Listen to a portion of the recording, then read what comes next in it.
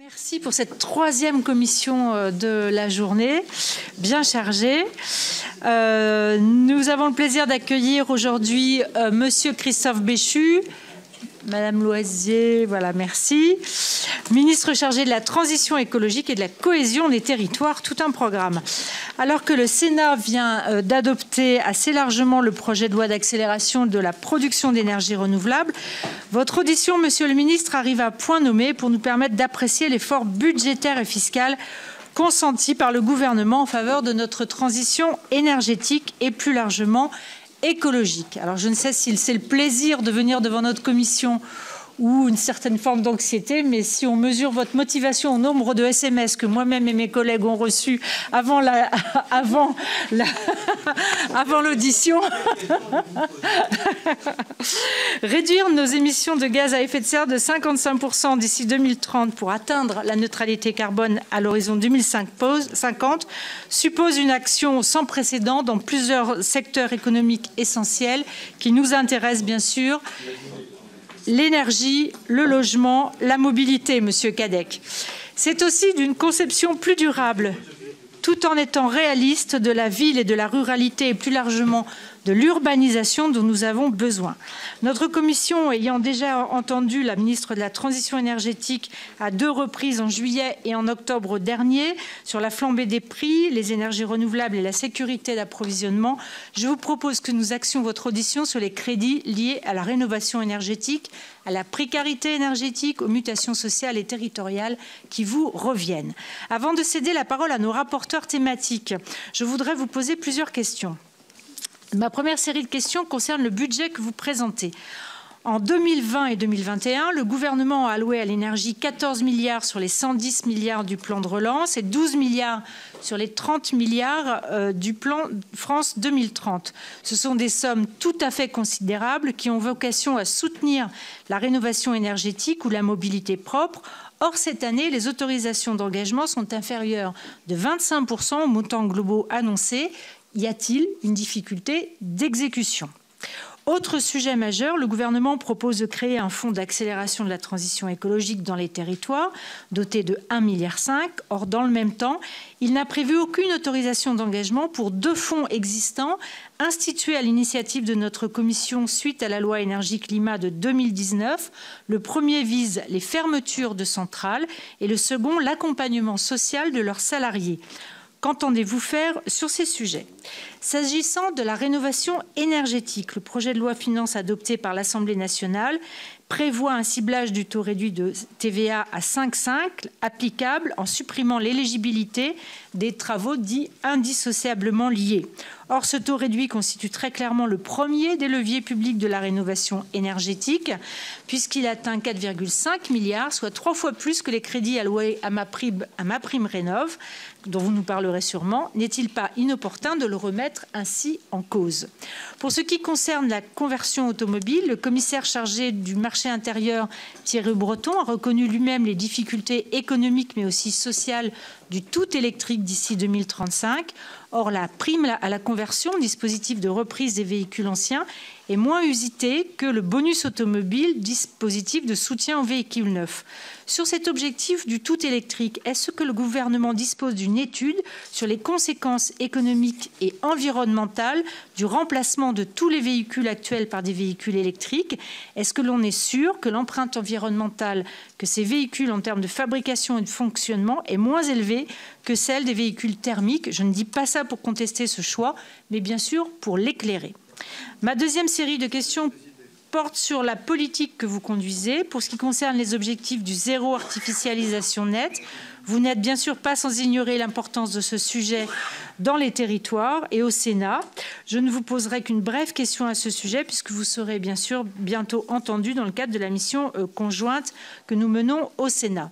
Lors de votre prise de fonction au sein du gouvernement, vous aviez laissé la porte ouverte, en tout cas euh, au moins entrebâillé, pour rappeler les adaptations au cadre juridique du ZAN que nous savons désormais mal taillées par endroits. Nous avons pu échanger plusieurs fois à ce sujet et nous constatons que nous sommes en novembre 2022, que la conférence des Scots ont déjà dû rendre leurs, travaux, que la révision des STRADET s'amorce et que pourtant nulle évolution notable du ZAN n'est encore amorcée. Donc vous nous direz quelles sont vos intentions. D'autre part, vous savez que le financement du ZAN sera le nerf de la guerre.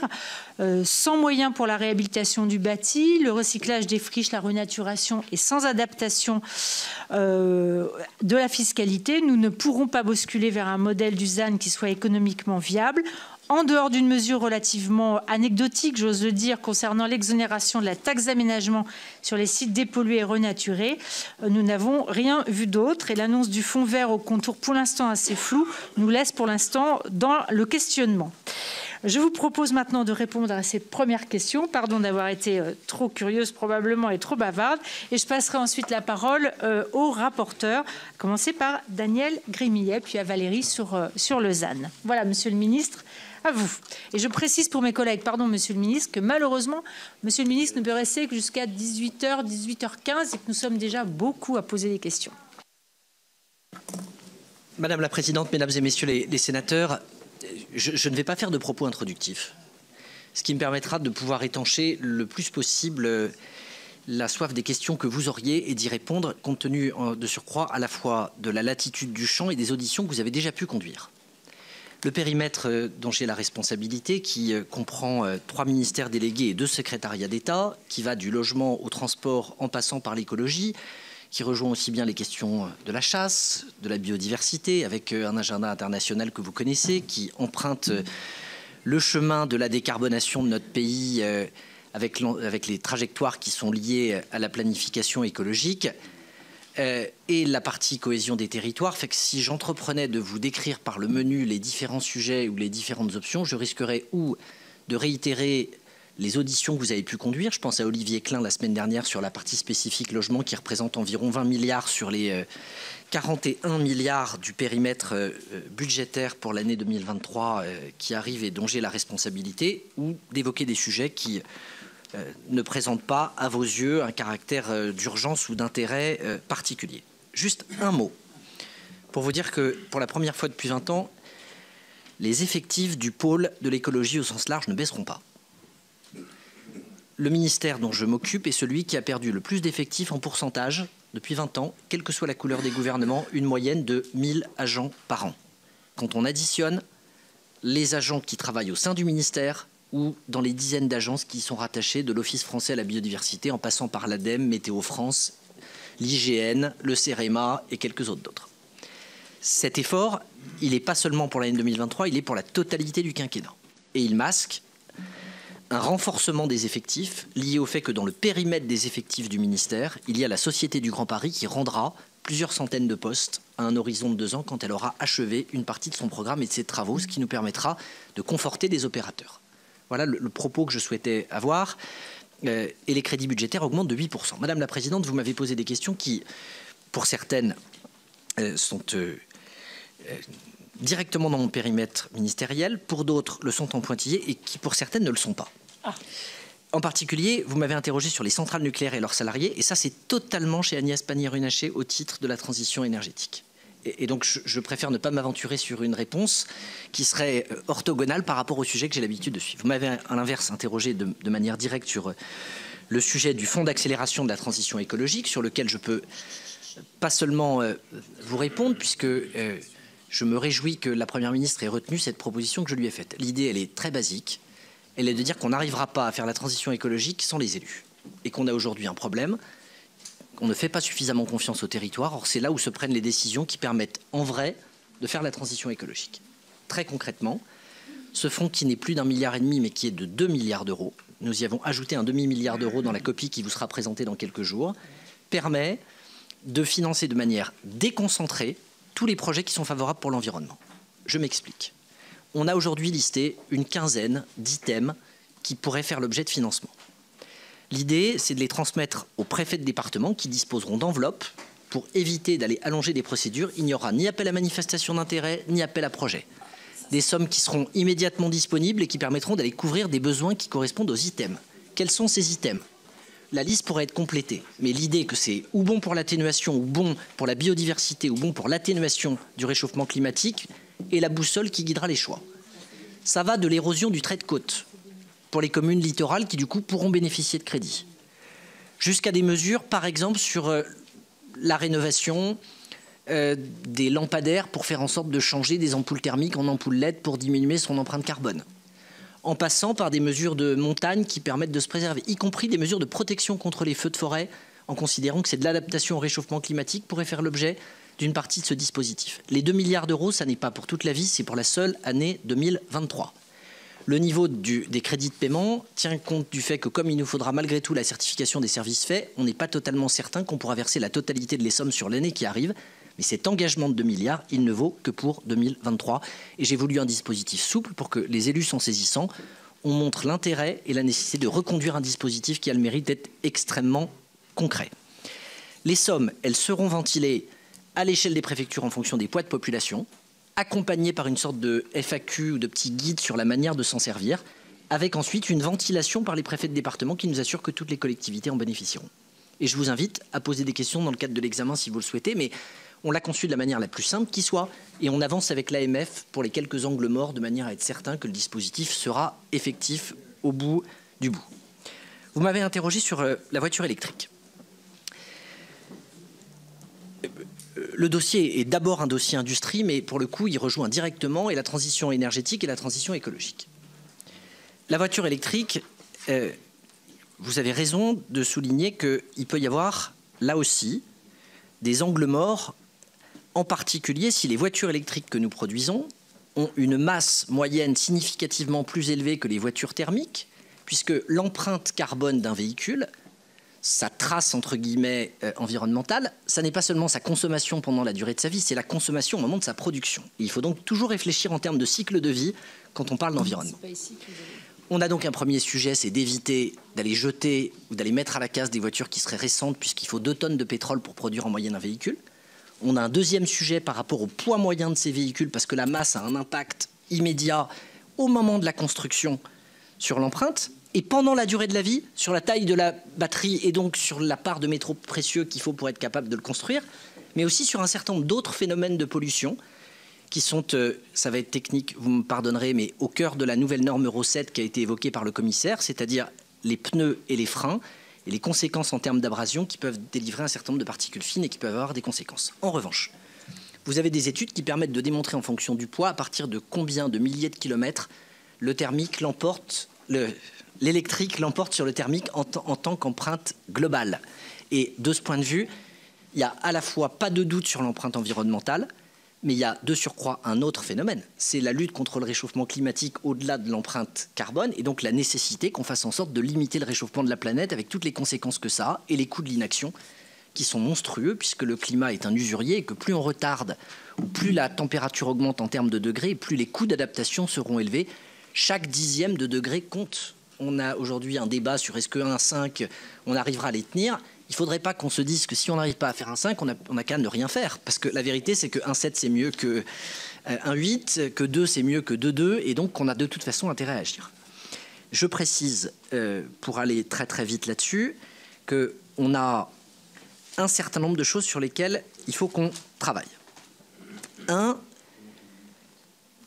Si on développe les véhicules électriques avec des importations massives qui proviennent du bout du monde, d'usines qui sont alimentées par du charbon, nous aurons un problème environnemental. Et donc la nécessité de faire en sorte que ce soit des véhicules européens ou français est une nécessité. Il ne faut pas être naïf. Les États-Unis viennent au travers de leur euh, IRA annoncer un plan qui se veut officiellement très vertueux d'un point de vue climatique, qui masque aussi une politique protectionniste avec des soutiens à du Made in USA, auquel il faut qu'on soit capable sur le plan européen de répondre, et en particulier demain le leasing à 100 euros ou les primes qu'on est en mesure d'apporter, il faut qu'on les cible avec une vision qui consiste à défendre notre industrie pour permettre là aussi de conserver des emplois sur notre territoire. J'ajoute qu'on a un sujet de pas de temps, Madame la Présidente. La vérité, c'est qu'aujourd'hui, je n'ai pas de véhicule électrique d'occasion, ou quasiment pas. Et donc, on a un souci, puisqu'on a imaginé des dispositifs de prime à la conversion euh, ou euh, de bonus écologiques, mais comme je n'ai pas d'offre d'occasion, je me retrouve à additionner ces aides en face de prix de véhicules neufs qui laissent une charge et un reste à payer qui est beaucoup trop élevé, pas seulement pour les classes moyennes. On parle de véhicules avec des prix moyens à 30 000 euros et de dispositifs d'aide quand vous les cumulez qui atteignent 14 ou 15 000 euros. Le compte n'y est donc pas pour des véhicules neufs. D'où la nécessité, un, d'avoir une filière de l'occasion qui permette d'être accompagnée, parce que quand d'un point de vue théorique, vous additionnez les niveaux de prime, une voiture à 10 000 euros, vous pouvez avoir un reste à payer à 3 000. Le problème, c'est qu'elle n'existe pas aujourd'hui sur le marché parce qu'on n'a pas la maturité. Et que les producteurs européens aujourd'hui font des SUV ou des voitures de grande gabarit, donc avec des prix moyens d'entrée sur le marché qui sont trop élevés par rapport à ce que seraient nos besoins. Deuxième sujet, il faut qu'on mise sur le rétrofit. Le rétrofit, c'est je garde ma voiture, je change le moteur. Ça évite de refaire la totalité de l'empreinte carbone en allant euh, lancer euh, la construction complète. On a une filière qui est à structurer, qui pose quelques difficultés, mais qui peut permettre à court terme d'accompagner une partie de la filière. Et il y a des investissements qui sont conduits là-dessus. Enfin, il y a un dispositif de prêt à taux zéro au niveau des zones à faible émission qui est lancé et qui méritera d'être euh, étudié, accompagné, sur lequel on aura peut-être quelques occasions de revenir. On est à un million de véhicules électriques aujourd'hui dans le pays sur un parc qui est en schématisant de manière extrêmement basique, euh, euh, d'un peu moins de, 40 millions, aux alentours de 40 millions. On a des marges de progression, mais c'est 13% des immatriculations au, cours de l'année 2013. On est d'ores et déjà sur un nombre d'immatriculations de voitures électriques ou hybrides sur l'année 2022 qui est supérieur à la totalité de l'année 2021. Il y a donc aussi un pli qui est en train d'être pris. Sur le ZAN, j'ai reçu hier soir, tard, et donc je n'ai pas eu le temps de le regarder, et pourtant je savais qu'avec l'audition d'aujourd'hui, j'aurais la question le rapport des agences d'urbanisme sur la réécriture totale du décret nomenclature. Quand nous nous sommes vus, dès le mois de juillet, au moment de ma prise de fonction, vous m'avez dit trois ou quatre choses. Un, il y a des décrets le 29 avril qui ont été pris sans concertation avec les parlementaires et qui, pour un certain nombre de choses, disent le contraire de ce que la CMP avait arrêté. J'ai donc intimé au préfet l'ordre de lever les stylos dès le début du mois d'août après qu'on se soit vu pour dire surtout n'allez pas appliquer les décrets du 29 avril qui font l'objet d'un certain nombre de contestations. Au même moment, pour ne pas réitérer les mêmes erreurs, qu'on fasse pas en chambre un truc qui consiste à dire que est artificiel ou est naturel tel ou tel espace, avec par exemple les jardins municipaux qui sont considérés comme des espaces artificialisés, dans la version précédente du décret de nomenclature, on a convenu qu'on allait demander à des villes et à des agences d'urbanisme de travailler sur le décret, de nous en proposer un nouveau. C'est ce que j'ai reçu hier. Vous m'avez interpellé sur le fait que nous ne pouvions pas conserver un dispositif pour les grands projets nationaux. Je pense à Seine Nord Europe, je pense à des euh, lignes LGV, je pense à des centrales nucléaires, qui soient imputés sur le compte des régions et qui amènent parfois une double peine, que des territoires qui n'ont pas été désenclavés se retrouvent à avoir aujourd'hui une artificialisation qui va les priver d'une capacité de développement, alors que des territoires qui en ont bénéficié par le passé ont droit, grâce à ça, à la moitié de l'artificialisation provoquée par ces grands projets qui va leur permettre de disposer d'un crédit. Je vous annonce que nous ferons un comté à part de tous ces projets nationaux. Le seul sujet qui reste et qui sera dans la discussion avec vous, c'est qu'est-ce qu'est un grand projet national? Une LGV et le Seine Nord Europe, il n'y a pas de doute. Est-ce qu'on va plus loin? Il y a deux questions dans la question. Est-ce qu'on fait un comté à part des grands projets régionaux dans une optique de soutien économique? Et puis une demandée par certains, je vous y annonce que pour le coup, je n'y suis pas favorable. Je pense à un président de région du nord de la France qui dit qu'il faut non seulement faire un, compte à part national, mais les grands projets nationaux ne devraient pas être comptés dans la trajectoire d'artificialisation du pays. Je considère qu'il faut évidemment intégrer ça dans la trajectoire d'artificialisation pour une raison simple, on peut avoir des avis différents, mais personne ne peut sérieusement prétendre que le fait qu'on ait artificialisé davantage en 50 ans qu'en 500 ans est la preuve qu'on n'a pas des marges de manœuvre il n'y avait pas de lotissement au XVIIe ou au XVIIIe siècle. Nos anciens étaient. Je vais vous répondre. La progression de la population en l'espace de 50 ans, mes chers collègues, ça n'est pas le doublement de la population du pays. il y a une décorrélation complète entre l'artificialisation d'un côté et la réalité de la progression de la population de l'autre. Il ans, marié avec la même personne et dans une famille unique. On peut... il y avait les grands-parents et, les enfants. On peut. Pardon, monsieur le ministre. Je, je vous entends, mais je vous invite à bien mesurer que la question de l'artificialisation n'est pas une question mineure. C'est la question de la recharge des nappes phréatiques, c'est la question de la capacité à disposer des lieux qui nous permettent d'aller faire du captage de carbone, c'est la question de la nécessité, si on veut relocaliser une partie de nos productions, de notre agriculture, de notre possibilité de pouvoir le faire, et c'est la question des solutions qui sont fondées sur la nature. J'ajoute un élément. Euh, il reste finalement deux points Le premier, auquel je sais que le Sénat est sensible, c'est la question des territoires ruraux. Nous réfléchissons à une sorte de garantie rurale, je l'appelle comme ça à ce stade, qui permette de pouvoir conserver une espérance dans toutes les communes en se disant que ça n'est pas parce qu'on est une petite commune qu'on a zéro droit à construire. Pour autant, l'idée qu'on n'appliquerait pas le ZAN en dessous d'un certain nombre d'habitants ne serait pas raisonnable si on veut être capable d'avoir une trajectoire qui soit vertueuse. Et puis le deuxième, c'est est-ce qu'il faut laisser au bénéfice des régions, dans le cadre du SRADET, un dispositif avec les craintes de certains territoires, de considérer que c'est la région qui décide, il y aura des arbitrages qui se feront de manière différenciée. Le système, il a été pensé, et le point d'arrivée sur lequel vous êtes mis d'accord, Assemblée et Sénat, c'était celui de dire que si on appliquait une règle aveugle, on divise par deux pour tout le monde, c'était plus injuste que tout autre système. Parce que celui qui avait beaucoup artificialisé avait plus de droits que celui qui avait été vertueux et qu'ensuite on se retrouvait dans une situation où on n'avait pas de possibilité de coopération territoriale. Et euh, on a beau tourner le truc dans tous les sens, si je veux territorialiser et essayer de tenir compte un minimum de ce qui se passe, il faut quand même que j'ai une échelle qui ne soit pas l'intercommunalité et qui m'amène à une échelle suffisamment importante pour être capable de répartir ces droits. Pour autant, on a aussi, euh, nous l'entendons, des régions qui nous disent que elles, elles ne veulent pas porter l'impopularité du dispositif et que dans ces conditions, elles appliqueraient un dispositif aveugle qui consisterait à diviser par deux pour tout le monde les trajectoires. Si ça devait être le cas, l'idée qu'il y ait une sorte de déclinatoire de compétences pour ces régions pour faire en sorte que celles qui ne veulent pas l'exercer, on puisse imaginer un système préfectoral ou départemental, n'est pas un truc qui me choque par avance. Et ça fait partie des sujets sur lesquels il faudra que nous revenions. Il y aura de toute façon la nécessité d'un texte législatif compte tenu des bougées dont je suis en train de parler. Tout ne sera pas de l'ordre du réglementaire. Je vous associerai à la réécriture évidemment des décrets du 29 avril pour que les mêmes causes ne produisent pas les mêmes effets. Et d'ici la fin de cette année, c'est l'objectif que je me fixe, on pourrait avoir un temps définitif après les quelques réunions que nous avons eues pour regarder la liste à la fois des points de convergence et de désaccord et le meilleur véhicule législatif pour y parvenir. Il me semblerait de bonne politique à tout point de vue que six mois avant les élections sénatoriales, des signaux clairs soient envoyés à tous les élus de ce territoire sur ce qui se passe pour éviter que des interprétations ou des procès d'intention ne viennent polluer le mois de septembre prochain. Très bien, merci euh, beaucoup pour ces euh, premières réponses. Euh, je ne vais pas rebondir, j'aurais envie de temps en temps, mais je vais laisser la parole à mes collègues si je retrouve la liste. Mais je vais donner la parole à Daniel Grémillet d'abord, notre rapporteur.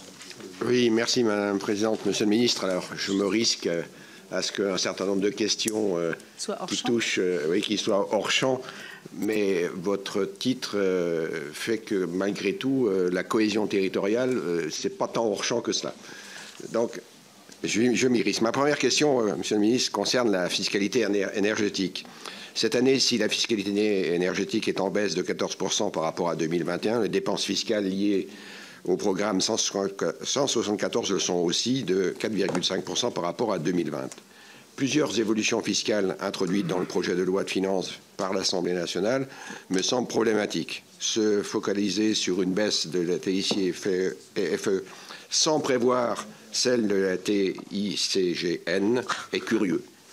Se focaliser sur une baisse euh, euh, conditionner les réductions de taxes foncières aux critères de la RE 2020 est prématuré ne pas intégrer euh, pleinement le biogaz, l'hydrogène, bas carbone, le bioéthanol et le biogazole à la TURERT est regrettable. Enfin, remettre en cause les redevances hydroélectriques euh, allouées aux collectivités est inacceptable. Le gouvernement est-il disposé à revenir sur ces dispositions dans le débat au Sénat? Ma deuxième question porte sur ma prime Rénov. Si cette prime est montée en puissance tant dans son montant que ses bénéficiaires, elle exclut encore très largement les propriétaires bailleurs et les copropriétaires. En 2022, ils n'ont représenté que 3 000 primes versées et 160 engagées, sur un total de plus de 450 000. C'est totalement insuffisant. Comment y remédier à cette difficulté? Je vous rappelle, Monsieur le Ministre, que le Sénat avait déjà fait des propositions et souligné ce sujet de la copropriété euh, sur le sujet de la, ma prime Rénov'. Ma troisième question concerne le chèque énergie. Son montant entre 50 et 250 euros est bien trop faible face à la hausse des prix des énergies. Un chèque spécifique est envisagé dans le cadre du PLFR de 2022. Quel pourrait être son niveau ainsi que euh, les ménages concernés? Et le gouvernement envisage-t-il de prolonger les chèques carburant et fuel l'an prochain? Cela constituerait un signal positif pour les ménages les plus précaires, notamment ceux isolés en zone rurale. Ma dernière question a trait au crédit de la mission sur lesquels j'ai au moins trois sujets de préoccupation. Tout d'abord, le montant provisionné pour le projet d'enfouissement Stocamine Est-il suffisant car nous savons qu'un contentieux est en cours et pourrait retarder ces opérations? Plus encore, la revalorisation des moyens humains et financiers de l'ADEME engagés euh, sur euh, cet exercice euh, seront-ils reconduits et amplifiés sur le prochain car on sait que le rythme d'attribution du fonds chaleur renouvelable ne permet pas d'atteindre les objectifs de la PPE et que le personnel de l'ADEME peine à instruire les projets présentés dans le cadre des plans France Relance et France 2030. Dernier point, pour la seconde année, les crédits attribués aux associations en charge de la qualité de l'air diminuent. Pourquoi persévérer dans cette euh, contre-productivité euh, pour la décarbonisation de notre économie Voilà, Monsieur le Ministre, les points que je me suis osé à vous poser euh, avec le risque que j'ai évoqué.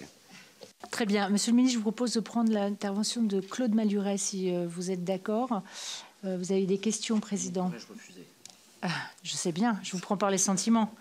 Euh, merci Madame la Présidente, merci Monsieur le Ministre pour ces, explications préliminaires. En fait, j'avais des questions, j'en ai moins parce que deux de mes trois ont été posées, donc on va gagner du temps. Je n'ai plus qu'une question à vous poser qui concerne les transports. Les transports constituent l'une des principales sources d'émissions de gaz à effet de serre et depuis 90, les émissions de ce secteur en France ont augmenté de 9%. Donc le développement de véhicules électriques apparaît comme l'une des meilleures opportunités de réduire nos émissions de gaz à effet de serre. Euh, la première mine de lithium pourrait s'ouvrir à Échassière dans l'Allier en 2028. Il s'agit également d'une opportunité de développement industriel puisqu'elle nous permettra, euh, en partie, euh, d'être en mesure de produire des batteries pour ces véhicules. Donc ma question est, la suivante. Quelles actions sont prévues par le gouvernement dans ce domaine, dans le domaine de ce métal et dans celui d'autres terres rares, pour que l'ensemble de la chaîne de valeur puisse être maintenue et développée en France?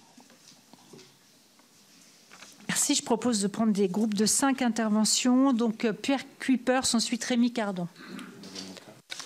Oui. Oubliez Valérie, pardon. Euh, alors Valérie, eh, oui, Valérie. Pardon Valérie, excuse-moi. Ah.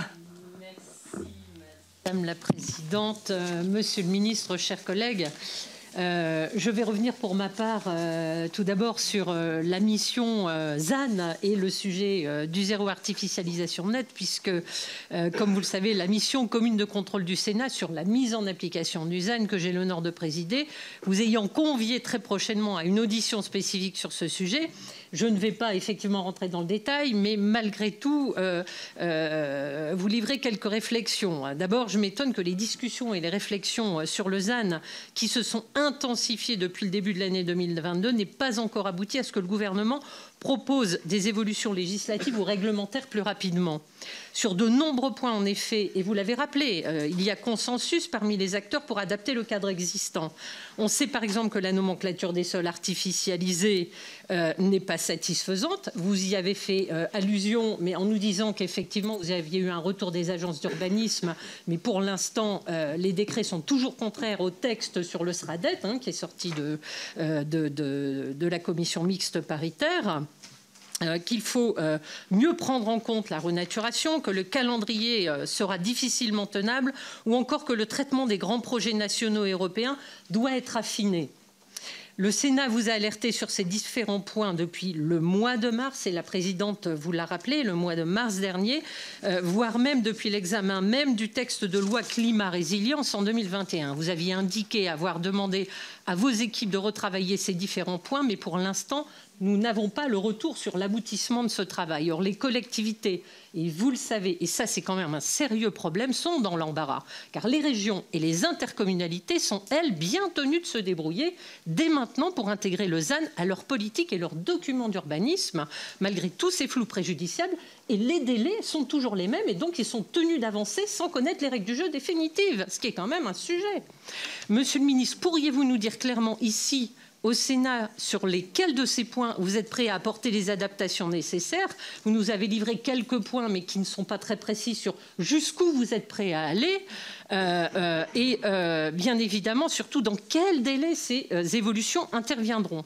Quoi qu'il en soit, notre Assemblée est, et puisque vous avez évoqué la possibilité d'un véhicule législatif, elle est prête à formuler des propositions, y compris législatives. Cela fait plusieurs mois que notre mission de contrôle y travaille et nous déposerons en décembre une proposition de loi sénatoriale pour adapter le cadre du ZEN sur laquelle nous pourrions évidemment échanger en profondeur avec vous pour essayer de trouver effectivement des voies de consensus. D'ailleurs, et je conclurai par ce point, notre Assemblée a adopté à une large majorité il y a deux semaines un amendement au projet de loi ENR porté par l'ensemble des membres de notre mission conjointe pluripartisane, créant une enveloppe nationale destinée à traçabiliser l'artificialisation des sols des grands projets tout en, ne le, euh, tout en ne les faisant pas peser sur les enveloppes des collectivités. Un comté à part, vous y avez fait allusion. Je rappelle que cette mesure est absolument essentielle à la bonne application du ZALN, car sans elle, des cibles chiffrées inatteignables de réduction de l'artificialisation, de l'ordre de 85 ou 90% en 10 ans, s'imposeront sinon aux collectivités. Nous avions échangé au préalable avec le gouvernement qui s'était déclaré, y compris publiquement, plutôt favorable à faire évoluer le traitement des grands projets s'avère que nous avons quand même reçu sur cet amendement adopté à l'unanimité un avis défavorable du gouvernement, ce qui interroge sur le compte à poire, puisque le gouvernement nous a livré un avis différent de ce que vous venez de nous rappeler, monsieur le ministre. Pouvez-vous nous confirmer aujourd'hui que le gouvernement et votre ministère spécifiquement soutiendra cette mesure votée par le Sénat et la fera aboutir au cours de la navette? Et excusez-moi, monsieur le ministre, je sais que ça a été évoqué par votre collègue monsieur Klein, mais euh, euh, vous le savez, euh, la situation d'Action Logement est particulièrement sensible. Monsieur Klein nous avait alerté sur le fait que ce mardi 15, vous aviez un échange avec Action Logement. Pourriez-vous nous tenir informés des suites qui vont être données? Vous le savez, Action Logement est un acteur fondamental des politiques du logement à la française. Il faut préserver Action Logement. Il ne faut pas en faire l'outil des politiques publiques de l'État. Derrière, c'est un outil du paritarisme, un outil qui permet d'accompagner les salariés, les travailleurs clés dont nous, avons besoin dans les territoires. Et là, Monsieur le Ministre, nous comptons sur vous pour préserver le modèle du logement à la française. Merci Madame la Présidente de la mission conjointe. Donc je donne la parole à Pierre Cuypers, puis à Rémi Cardon et on aura des premières euh, réponses. Merci Madame la Présidente. Monsieur le Ministre, comme vous l'avez indiqué tout à l'heure, vous avez également dans votre portefeuille ministériel la responsabilité de la chasse. Alors, comme vous le savez sans doute, la plateforme de pétition du Sénat a été utilisée par nombre de concitoyens pour demander l'interdiction de certaines pratiques qu'ils jugent contraires à leur sensibilité et à l'idée qu'ils se font du bien-être des animaux sauvages. Pour d'autres, et ils sont les plus nombreux, ces modes de chasse font pleinement part de leur mode de vie ou ont un fort caractère patrimonial. Quelle est votre vision de ces débats? Comment allez-vous avancer, peut-être avec nous, pour apaiser les esprits afin que chacun soit respecté et reconnu dans sa sensibilité ou dans ses traditions. Merci, euh, Pierre. Rémi Cardon, ça c'est un cadeau qui n'était pas prévu.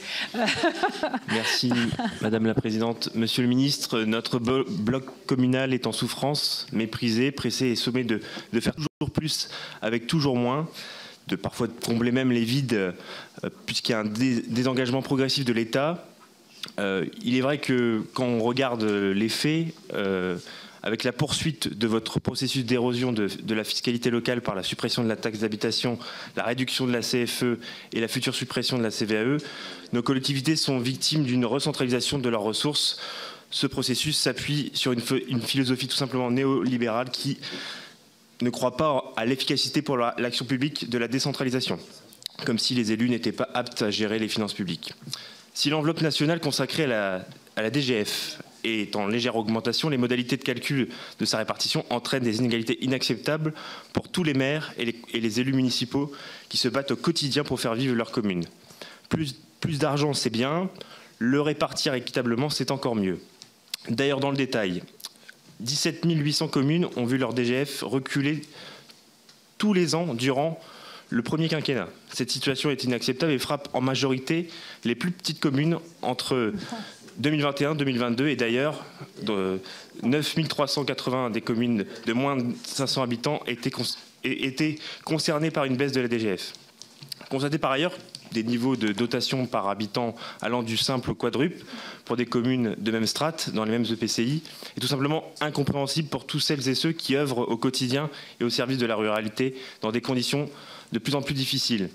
Alors, avec l'inflation, le coût de l'électricité qui exerce une, énième pression intenable sur les budgets des collectivités, malgré les efforts consentis par les plans de sobriété de différentes collectivités, tout en assurant en plus en parallèle euh, la continuité des services publics avec l'augmentation des charges. Ma question est simple. Allez-vous enfin changer de braquet et organiser une péréquation horizontale plus forte et synonyme d'équité entre les territoires? Monsieur le ministre. C'est très varié. Merci pour ces questions très simples et effectivement euh, qui sont près toutes dans le même domaine. Je n'ai qu'un problème, c'est sur la TIFCE, sur lequel je, vous dis là aussi que c'est totalement chez ma collègue Agnès Pannier-Runacher, donc plutôt que de vous lire un élément de langage que je vais demander à un collaborateur de, de me préparer, ce qui me semble pas très respectueux du processus d'audition parlementaire. Je vais vous répondre sur toutes les autres questions, mais sur celle-là, si vous avez besoin qu'on vous apporte des compléments, on le fera en liaison avec le ministère concerné. Ma prime rénove. Euh, les chiffres 2022, à la seconde où j'en dispose, et ils ont été actualisés pour cette audition, c'est 11 000 propriétaires bailleurs sur 630 000 primes rénov. Vous avez évoqué le chiffre de 3 000 sur 430 000. On a une légère amélioration du taux, mais on reste évidemment sur des niveaux qui sont extrêmement faibles. Mais j'en profite pour actualiser ces éléments. Et pour dire que le processus d'étude étant un peu plus long, ce chiffre devrait continuer à remonter d'ici la fin de l'année. Il n'est pas exclu qu'on soit à 13 ou 14 000 euh, au moment où l'année se terminera. J'attire votre attention sur le fait que nous prolongeons ce dispositif propriétaire euh, bailleur. Certains considéraient que dès lors qu'il s'agissait d'un deuxième logement de gens, il n'était pas souhaitable de les aider. Ma conviction est que l'enjeu de la rénovation énergétique nécessite qu'on donne un coup de main sur tous les logements d'une façon qui tienne compte du niveau de revenu des gens, mais qu'il est souhaitable d'accompagner ces propriétaires parce qu'il y a une diversité et une réalité, beaucoup d'entre eux ayant parfois euh, juste un bien qui leur sert aussi à financer une retraite après des professions libérales ou des choses de ce type. Le vrai sujet, euh, plus large sur lequel on pourra revenir, c'est que euh, on a des marges d'amélioration pour ma prime rénov. Il y a un succès objectif qui est celui du nombre de rénovations qui ont été entreprises.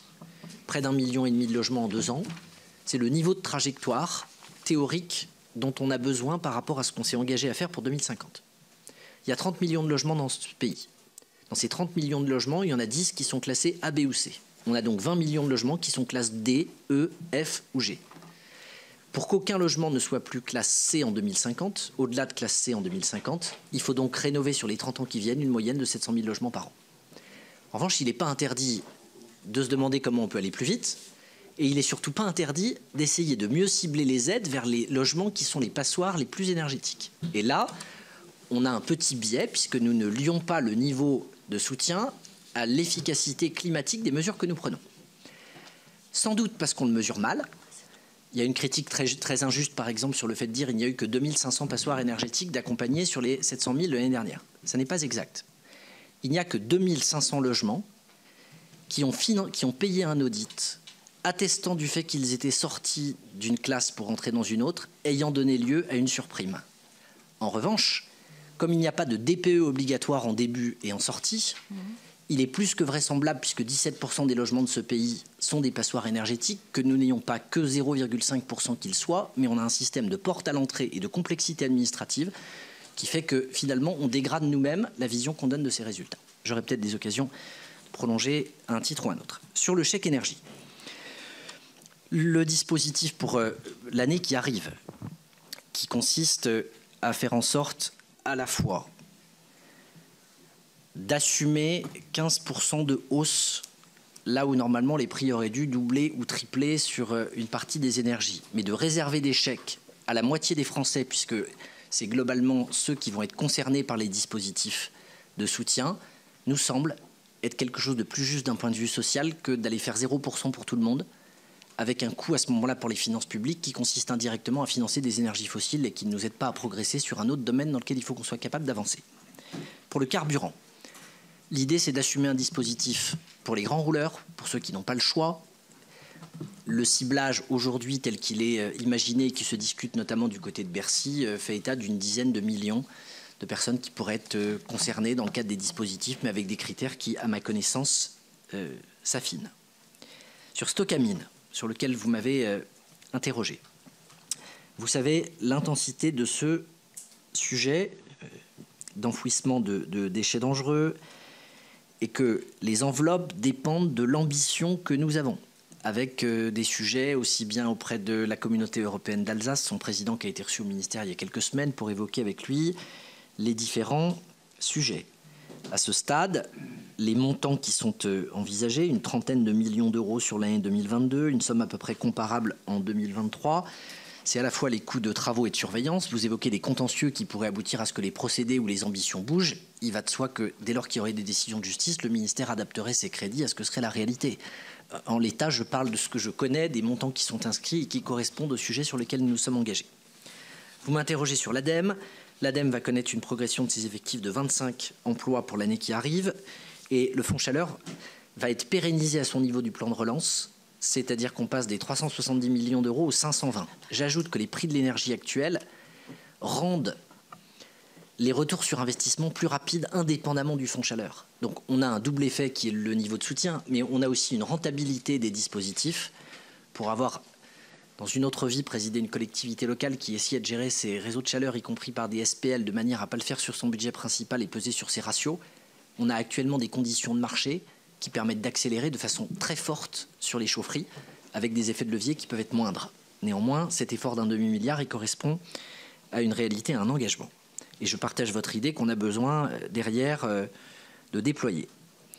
Vous m'avez ensuite euh, interrogé sur la question des agences de l'air, si je me souviens bien, l'ordre dans lequel vous avez fait les, différents sujets. à ma connaissance, on est sur une quasi-stabilité des montants. ces agences vont voir leur crédit de surcroît complété par une partie des amendes auxquelles l'État a été condamné dans le cadre du non-respect de la pollution de l'air, ce qui fait que quand on additionnera les deux, on devrait être sur des montants qui seront en progression et non pas en diminution, même si sur euh, les dernières décisions qui ont été prises, ça l'a été à titre conservatoire, constatant une amélioration de cette qualité. Je vous renvoie à la décision du milieu du mois d'octobre et je me tiens à votre disposition si certains d'entre vous avaient envie de parler de ZFE pour varier les mots qui commencent par Z et dont nous pourrions parler. Sur la chasse.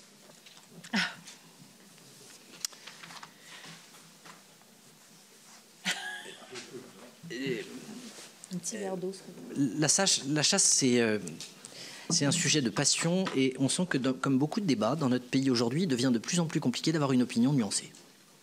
Il faut être pour ou contre avec une espèce d'injonction qui consiste désormais à choisir son camp. Il y a les gentils d'un côté, il y a les méchants de l'autre et vous êtes d'un côté ou de l'autre. Je suis désolé de revendiquer le droit euh, et à la nuance et au consensus, ou en tout cas à la recherche de compromis, parce que je pense que c'est la condition du vivre ensemble. Et qu'à euh, vouloir priver les autres de liberté qu'ils ont, on finit aussi par ne plus euh, faire euh, vivre euh, une diversité qui pourtant fait notre richesse.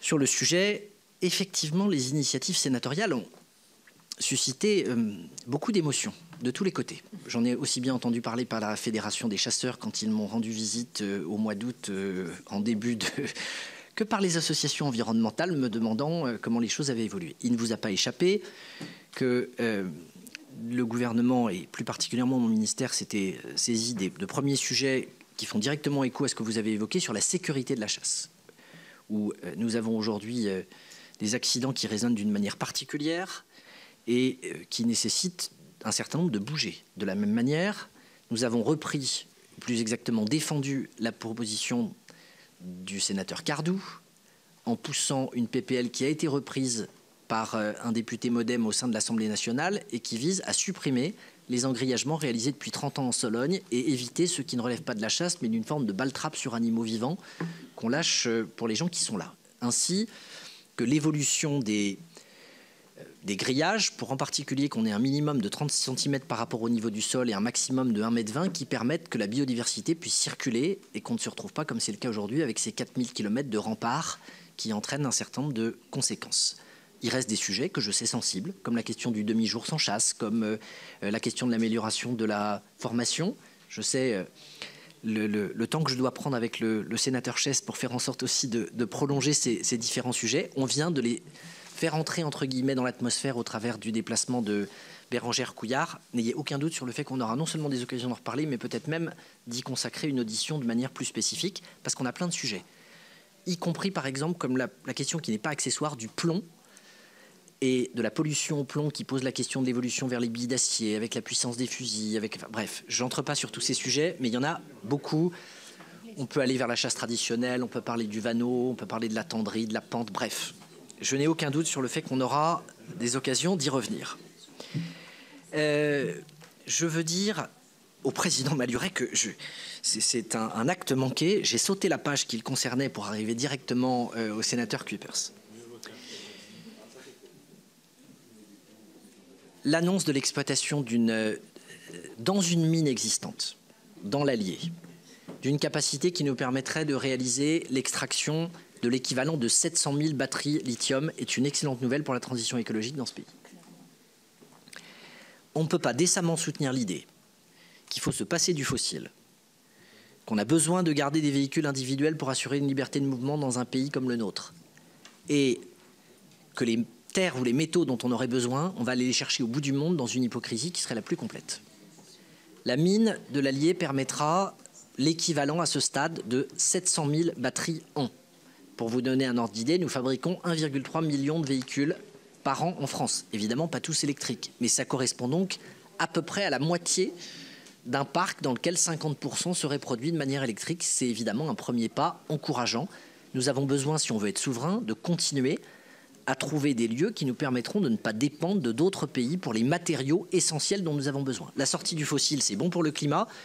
Je pense que c'est aussi bon pour les droits de l'homme parce que ça nous évite de dépendre de pays qui n'ont pas nécessairement la même conception que nous dans un certain nombre de sujets, mais c'est bon aussi pour notre souveraineté tout court.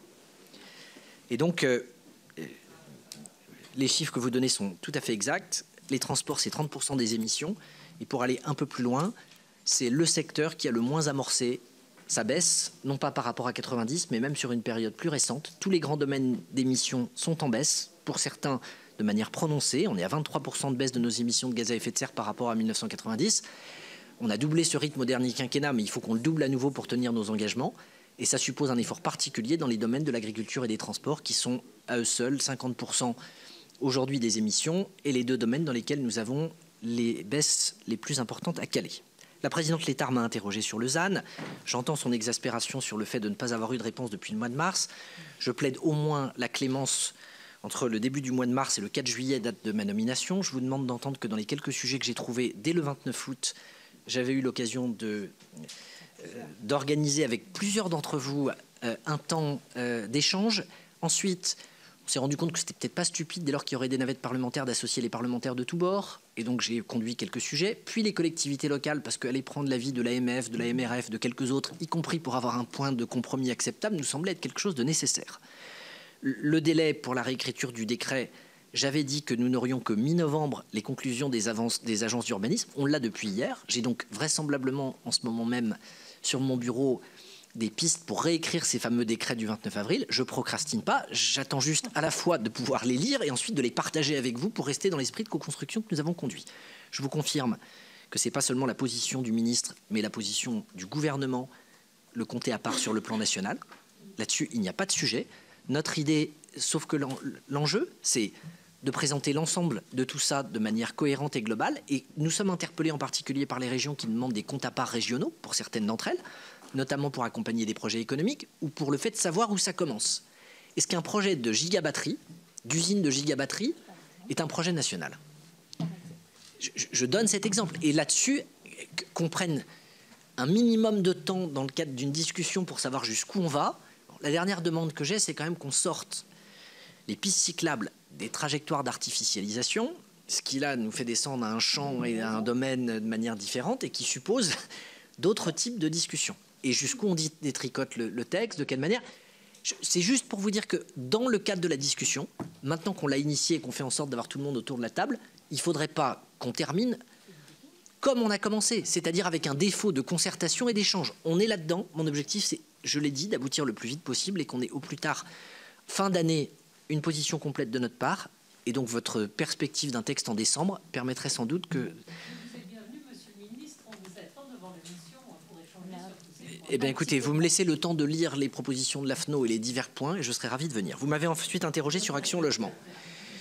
J'ai effectivement reçu hier matin, pas seulement euh, le président euh, Arkady Pan et son vice-président, mais toutes les organisations syndicales, les sept organisations syndicales qui assurent la gestion paritaire d'Action Logement. 19 000 salariés, premier groupe de logement social, 33% des logements sociaux, financeur à 80% du NPNRU, financeur à 1,5 million d'Action Cœur de Ville, et je pourrais ajouter un certain nombre de choses, la garantie Visa à hauteur de 600 000 développés dans le pays, et un acteur clé d'un lien emploi-logement. Il y a une émotion factuelle qui n'est pas une position du gouvernement, qui est une position d'une structure indépendante qui s'appelle l'INSEE sous le contrôle d'Eurostat. J'insiste sur le sous le contrôle d'Eurostat puisque c'est dans le cadre de la procédure européenne. Or, que dit l'INSEE? Elle considère qu'il faudrait reclasser Action Logement Service, qui est la filiale qui prélève le 1% logement, enfin le PEC, à l'intérieur du périmètre des administrations publiques locales. Ce qui engendrerait comme conséquence qu'elle aurait besoin d'une dérogation pour continuer à emprunter si on prive Action Logement de la capacité à emprunter, on flingue le secteur du logement.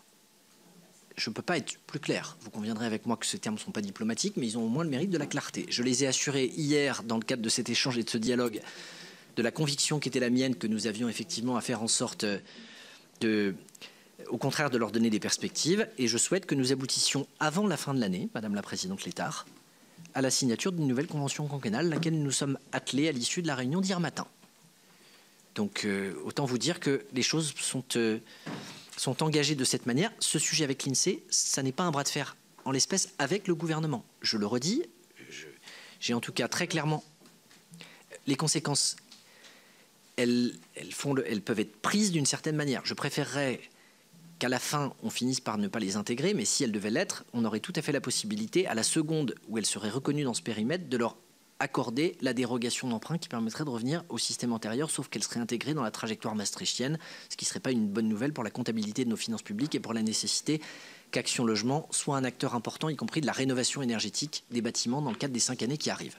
On a quelques sujets périmétriques dont je ne parle pas, mais pour lesquels je suis à votre disposition, sur leur trajectoire financière, sur la contribution du FNAP, et sur quelques autres sujets que vous connaissez au moins aussi bien que moi. Il me semble que j'ai enfin été interrogé par le sénateur euh, Rémi Cardon sur la question de la DGF. Je me souviens avec émotion euh, de l'époque euh, où j'ai fait mon entrée dans cette maison comme vice-benjamin du Sénat, comme quoi le, temps passe, mais à un âge bien plus avancé que le sénateur Cardon. Et à cette époque, non seulement la DGF n'a pas été maintenue, mais elle a baissé dans des positions que nous n'avions jamais connues. Le gouvernement n'y était pour rien, puisque c'était un gouvernement socialiste qui était en responsabilité. Et je comprends que vous nous reprochiez de ne pas avoir abondé de 700 millions d'euros la DGF pour l'année en cours et que vous dressiez un réquisitoire sur euh, une partie des sommes qui n'ont pas été compensées. Mais la plus grande débudgétisation qui a eu lieu, c'est celle qui a consisté à priver l'ensemble des collectivités locales de 12 milliards d'euros. Je considère qu'à un moment, quand on s'inscrit dans une famille politique, on a le droit d'avoir un minimum de mémoire, au moins dans la façon dont on pose la question et dont on présente les choses. Pour être clair, un certain nombre d'impôts ont été supprimés, mais ils ont été compensés. On peut discuter de la question de l'autonomie, mais pas du niveau de compensation. Je mets au défi qui que ce soit sur la taxe d'habitation de trouver des écarts par rapport à la réalité compte tenu du décompte, et je vous annonce que la suppression de la CVE, elle a des biais, elle a en particulier le biais de nous faire prendre un risque sur le lien entre activité économique et territoire. Ça, on peut en parler. Mais sur le niveau de compensation, la vérité, c'est qu'à la fin, les collectivités locales seront gagnantes. Et je vais très exactement vous dire pourquoi. Parce que la négociation, elle a abouti à ce que la compensation, elle se fasse par un régime plus dynamique, dont ne voulait pas Bercy à l'origine. La CVAE, c'est 2,5% de moyenne de progression depuis 10 ans. La TVA, c'est 3,5. Je vous invite à regarder ces chiffres. Et à la différence de la CVAE, la TVA n'a baissé qu'une fois au cours de ces 25 dernières années, c'était en 2009. Alors que la CVAE connaît des itérations qui sont liées au mécanisme. Donc on peut discuter de la philosophie et de la libre administration, mais vraiment sur la compensation. Et j'en veux pour preuve un élément sur lequel je m'arrête. Dans le concert des difficultés actuelles qui sont liées à l'inflation et sur lesquelles on pourrait revenir il y a un niveau de collectivité que nous n'entendons pas. Ce sont les régions. Parce que la progression des crédits liés au fait qu'on a supprimé pour elles la CVE pour la TVA, ça aboutit à 9,1% de progression des crédits, ce qui est très supérieur à ce qu'aurait été le régime de CVAE. Et ça au moins cet inconvénient d'indexer en quelque sorte une partie des recettes sur une partie des dépenses. Je pense qu'on aura des débats passionnants parce que je ne réagis pas parce que la, liste est longue, Monsieur le Ministre, mais on aura des débats passionnants là-dessus. Euh, je passe la parole à Serge Babary, ensuite à Jean-Claude Tissot. Serge Babary, là-bas. Oui, merci, Présidente. Monsieur le Ministre, euh, le gouvernement a abondé la mission écologie de 3 milliards d'euros supplémentaires pour financer un amortisseur électricité il est indiqué dans l'exposé des motifs qu'il couvrira également les établissements publics, c'est ce qui est une bonne nouvelle. Pourtant, nous avons beau poser la question au ministère de l'économie, personne ne sait si le réseau consulaire constitué justement d'établissements publics est bien inclus dans ce dispositif. On nous répond d'ailleurs souvent qu'il faut se tourner vers votre ministère pour avoir la réponse. Euh, pour ne prendre qu'un exemple, les chambres de métier de l'artisanat pilotent des centres de formation des apprentis euh, qui s'acquittent d'une lourde facture pour les équipements techniques, comme les fours par exemple, puisqu'ils font les formations de boulanger, de pâtissier, etc. Et rien qu'en 2023, la facture des chambres de métier va s'alourdir de 15 millions d'euros, alors qu'il est prévu de les sucrer de 15 millions d'euros par ailleurs. Pouvez-vous donc aujourd'hui nous confirmer si le réseau consulaire bénéficiera bien de l'amortisseur électricité en tant qu'établissement public? Je vous remercie. Deuxième question. La réponse est oui. Deuxième question. Ah bah c'est une bonne, bonne réponse. Deuxième réponse, j'espère qu'elle sera aussi euh, positive, mais c'est plus long et plus compliqué. Le réseau ferroviaire a son rôle à jouer dans la transition écologique, bien sûr. Euh, simplement, l'interrogation, c'est sur la flambée du coût de l'énergie qui met aujourd'hui en péril le fret ferroviaire. Il y a eu un certain nombre d'interrogations autour de cela, avec le risque de transfert sur euh, le routier. Quelles mesures prendre le gouvernement pour préserver ce mode de transport? Merci. On attend. On attend la suite. Je vais les faire par D'accord. Euh. ok, Jean-Claude Tissot, ensuite Sylviane Noël. Merci Madame la Présidente. Monsieur le Ministre, moi j'ai deux questions et demie. la première porte sur le montant accordé sur le fonds vert, euh, estimé à 2 milliards d'euros, afin d'accompagner les collectivités territoriales dans les projets de transition économique. On a l'impression un petit peu, mais je ne comprends pas, mais vous allez nous éclaircir euh, le sujet, j'ai l'impression que c'est du recyclage d'enveloppes entre DETR, DECIL, etc. Donc ce premier outil semble malheureusement bien insuffisant par rapport aux 12 milliards d'investissements nécessaires, 12 milliards d'investissements climat qui devrait être réalisé par les collectivités chaque année, selon un rapport récent de l'Institut pour le climat. Les collectivités ont pourtant, et on le dit tous ici, un rôle clé à jouer dans la mise en œuvre des politiques de transition écologique et peuvent avoir un rôle moteur auprès des autres acteurs du territoire, que ce soit les entreprises ou les citoyens. Quand on voit les récentes recettes de la contribution au service public de l'électricité, estimées à près de 31 milliards d'euros, d'autant plus que ces recettes se créent dans les territoires, ne pensez-vous pas, Monsieur le Ministre, qu'il conviendrait d'augmenter les financements accordés au fonds vert? Ça, c'est une première question. Enfin, deuxième question, je souhaitais revenir rapidement, euh, euh, c'est vraiment l'actualité, revenir sur la potentielle prolongation d'un an de l'autorisation de la mise sur le marché du glyphosate par la Commission européenne suite au désaccord entre les experts des 27 États membres. Sur le sujet du glyphosate qui concerne conjointement votre champ de compétences, c'est vrai, et celui de M. Fesneau, la France a obtenu le statut d'État rapportant en 2019 au sein d'un groupe de travail dédié. Et malheureusement, et je rejoins les propos de notre collègue eurodéputé Éric Andrieux, l'échec des négociations prouve le manque de travail et de volonté de la part des quatre États rapporteurs. Alors que la stratégie européenne pour la biodiversité et la stratégie de la ferme à la fourchette prévoient une réduction de la moitié de l'utilisation des pesticides d'ici à 2030, ce nouveau report est un coup dur porté à, ces objectifs. Monsieur le Ministre, quelle est la position de la France, votre position, dans ces négociations européennes? Pensez-vous que les financements publics à la recherche d'alternatives sont à la hauteur de notre pays. Voilà. Et puis j'ai une question qui est récurrente que j'ai posée à tous vos prédécesseurs. Euh, vous parlait du sujet de la mine dans l'Allier. Moi, je vais vous parler du sujet de l'après-mine. Et j'ai un sujet très très précis. C'est une, mine d'uranium dans mon département, le département de la Loire. Euh, l'après-mine est très mal géré. Euh, on a eu plusieurs rencontres avec vos, différents prédécesseurs et on en a eu un il n'y a pas très longtemps avant que vous arriviez avec le cabinet de Madame Pompili. On n'a pas eu de réponse ben, parce que vous êtes arrivé trop vite ou elle est partie trop vite, je ne sais pas. Mais en tout cas, euh, je souhaiterais à nouveau qu'on puisse se rencontrer parce que c'est un sujet très précis et, qui devient très urgent. Merci, euh, Monsieur le ministre. Merci euh, beaucoup, Jean-Claude. Sylviane Noël, et on finira cette série pour Patrick Chaise. Merci Madame la Présidente. Monsieur le Ministre, vous évoquiez tout à l'heure le défi de la voiture électrique et la nécessité d'œuvrer pour sauvegarder notre capacité de production dans notre pays ou au moins sur le continent européen. Je vous rejoins tout à fait. Mais je profite de cette audition pour euh, vous, vous alertez sur les difficultés extrêmes vécues euh, par l'industrie automobile électro-intensive qui euh, supporte actuellement des hausses d'électricité de plus de 300%. J'en ai, j'ai bon nombre de sous-traitants automobiles dans mon département qui m'alertent sur les vraies difficultés qu'ils rencontrent aujourd'hui. Et donc demain, je vous alerte déjà sur le fait que bon nombre mettront vraisemblablement la clé sous la porte parce qu'ils ne seront pas en mesure euh, de supporter de telles hausses de, coûts de l'énergie. Donc si on veut demain euh, pouvoir avoir encore la capacité de, produire nos propres véhicules, euh, je crois qu'il va falloir véritablement accompagner cette industrie qui est capitale. Euh, deuxième question, c'est sur le filet de sécurité euh, euh, destiné aux collectivités locales, voté lors du PLFR du 16 août 2022, reconduit en 2023. Selon les propos du gouvernement en juillet 2022, il était question que ce dispositif concerne 22 000 communes. Or, le ministre des Comptes publics auditionné par le Sénat le 26 septembre dernier indiquait que seuls 25% des communes, soit à peu près 9 000, pourraient en bénéficier. Euh, donc là encore, euh, je vous demande de nous communiquer euh, des chiffres réalistes parce qu'on est un peu perdu. Merci. Merci Sylviane Patrick Chaise. Oui, Madame la Présidente, Monsieur le Ministre, je vais être assez rapide puisque mon collègue Kuipers a, tiré avant moi.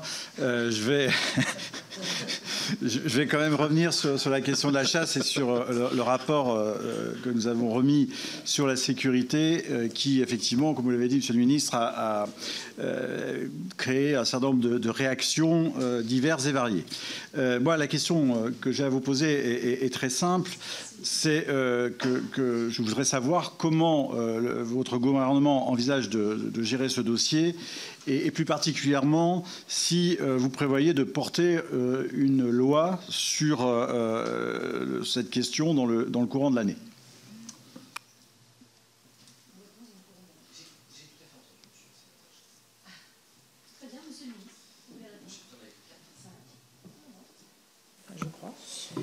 Alors, D'abord, je ne suis pas surpris que le sénateur Babary, que j'ai côtoyé trop peu de temps comme euh, collègue à Tours, mais qui dans une ancienne vie avait dû présider la Chambre de commerce et d'industrie d'Indre-et-Loire, euh, m'ait posé cette question. Et donc, je confirme en y mettant les formes que l'amortisseur électricité concerne toutes les structures, sans aucune exception.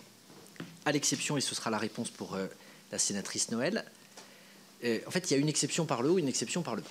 La règle générale, pour faire simple, c'est vous êtes au bouclier si vous avez moins de 10 salariés vous êtes à l'amortisseur pour tous les autres. Y compris si vous avez moins de 10 salariés mais que vous avez un besoin important en énergie type boulanger. Et si vous êtes électro-intensif, c'est le guichet.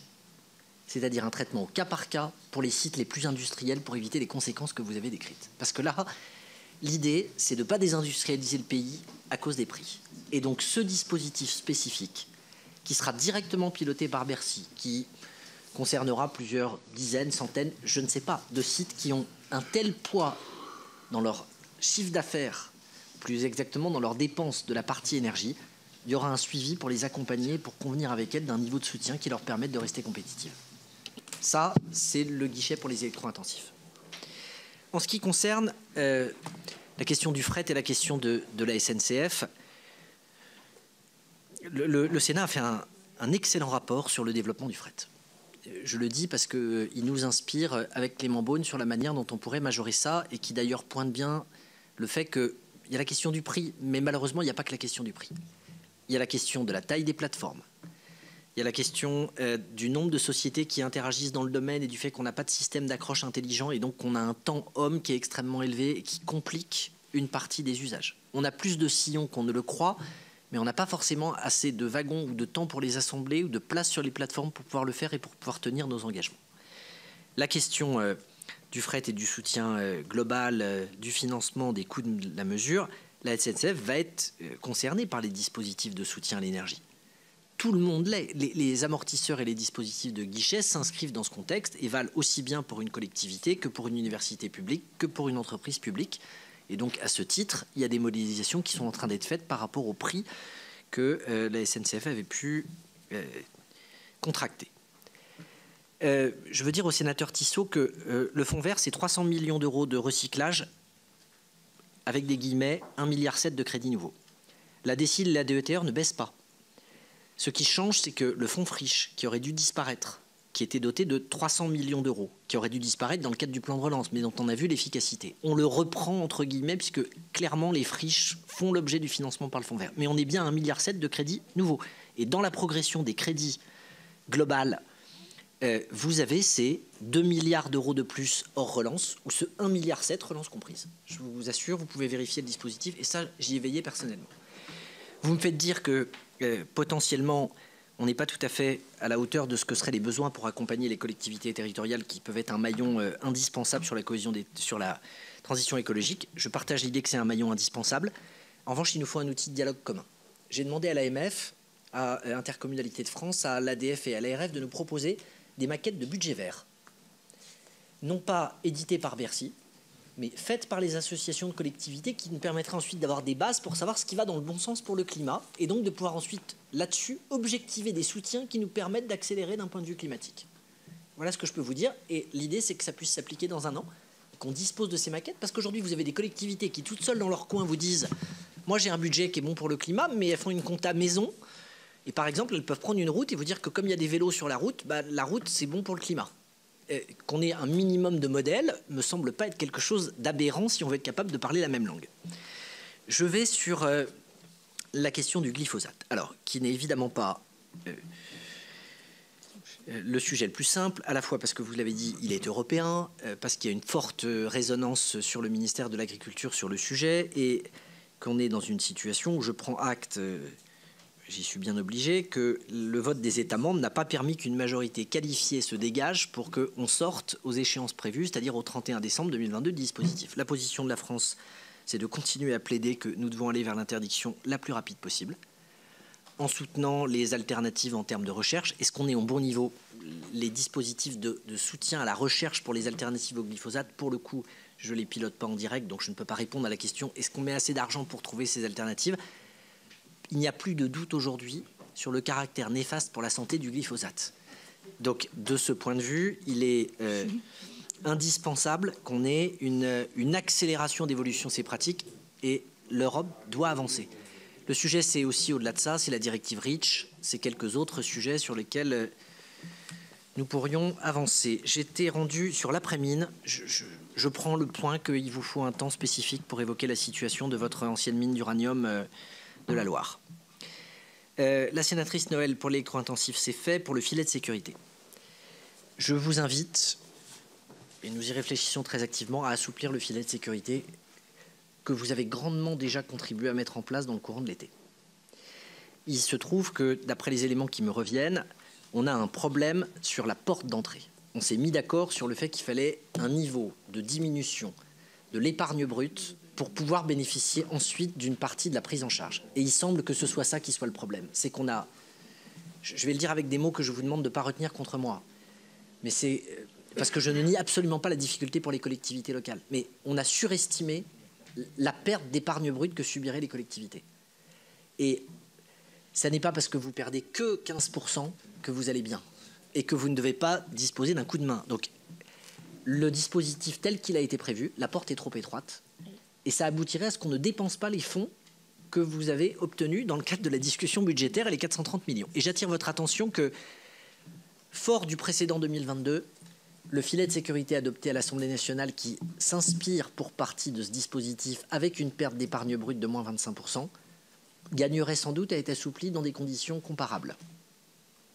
Je sais que le sénateur Husson dit on supprime la première partie, on prend en charge 50% du surcoût, c'est-à-dire il n'y a même plus de porte d'entrée à titre perso, mais ministériel aussi, je, vous indique que l'absence totale de porte d'entrée ne semble pas forcément juste, euh, mais qu'en tout cas, il faut une porte d'entrée beaucoup plus basse. Peut-être que 10% de, de, de perte d'autofinancement permettrait déjà, pour le coup, de retrouver les chiffres que, dont, dont nous parlons, mais à 25, on est sur des volumes qui privent un trop grand nombre de collectivités du dispositif. Voilà ce que je pense très exactement sur le sujet. Et encore une fois, je le dis à peu près avec le souci de consommation des enveloppes sur lesquelles il y a eu des engagements de prix. Hein. Donc ensuite, si on décide d'aller plus loin, on peut, mais on ne dépensera pas les 430 millions dans les conditions actuelles du filet de sécurité. On a un petit sujet sur les chiffres, c'est que c'est sur la base des comptes administratifs qu'on versera l'argent. Donc quand quelqu'un vous dit on espérait 22 000 ou on pensait 22 000, aujourd'hui c'est 9 000, d'autres vont vous dire 5 000, tant que l'année n'est pas terminée, il y a potentiellement une question qui peut se poser. En revanche, comme on a des collectivités qui pensent qu'elles ne seront pas à 25%, elles ne demandent pas l'avance remboursable. Et celles pour lesquelles on est certaine qu'elles dépasseront ce seuil, elles ne sont pas nombreuses. Mais il ne faudrait pas qu'on ait des collectivités qui se débrouillent pour creuser leurs pertes au titre de l'année de manière à bénéficier du filet de sécurité en repoussant du coup euh, certains dispositifs. Il ne faut pas qu'on pénalise la bonne gestion. Je, le dis, mais qu'on ne me fasse pas dire ce que je n'ai pas dit. Euh, vous pouvez par exemple différer la subvention que vous versez à une structure de chez vous pour faire en sorte de bénéficier d'un complément de crédit. C'est de la bonne gestion si c'est pour toucher une subvention. Mais ce n'est pas souhaitable qu'on pousse les élus à ce type d'expédient. Il faut qu'on les aide euh, en tenant compte d'une réalité objective. Le sénateur Chaise m'a interrogé euh, sur le fait de savoir s'il y aurait une loi. Je ne sais pas lui répondre à cette date. Euh, y compris parce que il y a des choses qui pourraient sans doute se faire par décret et que je ne sais pas jusqu'où on va sur, sur un certain nombre de sujets. Je ne dis pas que c'est impossible. Je ne peux pas prendre cet engagement ce soir parce que quand je dis quelque chose, j'aime bien ensuite le faire. Et comme je ne suis pas certain qu'on en aura besoin, mais je pense que ça fera partie des sujets dont on pourra parler. Très bien, merci beaucoup Monsieur le Ministre. On va reprendre un jeu de questions. Serge Mériou, ensuite Marie-Noël Lindemann. Alors, Madame la Présidente, Monsieur le Ministre, mes chers collègues, euh, moi je, vais, je voudrais évoquer la forêt et derrière la forêt, euh, le, les moyens et le budget de l'ONF et, d'éventuelles euh, suppressions de postes qui ont été euh, largement évoquées. Je rappelle que le budget de l'ONF, c'est 180 millions d'euros, légèrement en hausse. Euh, un projet pour, pour 2023, mais on a une inquiétude donc sur les effectifs de l'ONF avec une suppression de 95 postes prévus pour 2023 et dans le cadre de la mise en œuvre du contrat d'objectif, euh, il pourrait y avoir, et de performance, il pourrait y avoir des suppressions allant jusqu'à 500 postes. Euh, je rappelle qu'un rapport sénatorial qui, était, qui est récent hein, sur les feux de forêt, et bien sûr les syndicats, c'est évidemment leur rôle, hein, euh, demande au gouvernement de revenir sur euh, la suppression des 500 postes. Je pense, Monsieur le Ministre, que vous vous êtes exprimé euh, récemment, hein, le 29 octobre, et que vous avez indiqué qu'il n'y aurait aucune suppression de postes pour 2023. Mais pouvez-vous nous confirmer donc l'annonce pour 2023 et la trajectoire aussi sur les cinq années à venir? Je ne vais pas refaire le, l'article sur l'importance de la forêt avec euh, la mutation à laquelle elle est confrontée. Merci. Jean de méthode et le ministre répond euh, voilà, rapidement à chacun d'entre vous euh, après vos questions. Progression des crédits aux alentours de 10 millions d'euros. Suppression des 80 postes qui étaient prévus dans le schéma d'emploi. Je ne peux pas répondre pour l'année qui suit pour une seule raison, c'est que les effectifs de l'ONF sont au ministère de l'Agriculture. Il y a une co-tutelle. Donc moi, je connais mes perspectives de poste pour les 5 ans qui viennent, mais la feuille de route ONF on s'est battu ensemble avec Marc Fesneau pour qu'il y ait zéro suppression pour l'année 2023. Je ne peux pas imaginer qu'on reprenne une baisse au moment où on annonce qu'il faut qu'on augmente les plantations, qu'on arrive à 10% du renouvellement de la forêt dans les années qui viennent compte tenu de la baisse du pouvoir de stockage. Je rappelle que l'ONF gère 25% de la forêt française et que ça ne représente que 4% des surfaces qui ont brûlé. Preuve qu'il y a aussi un dispositif de prévention et d'accompagnement, que là-bas on fait les corridors de sécurité, qu'on réalise les obligations de débroussaillement, et qu'un des sujets, c'est de regarder comment on étend le périmètre qui permet la bonne gestion par l'ONF de ces sujets. Mais en tout cas, les choses sont claires. Zéro suppression, 10 millions de compléments pour 23. Merci. Marine-Noël Lindemann, ensuite Patricia Schilling.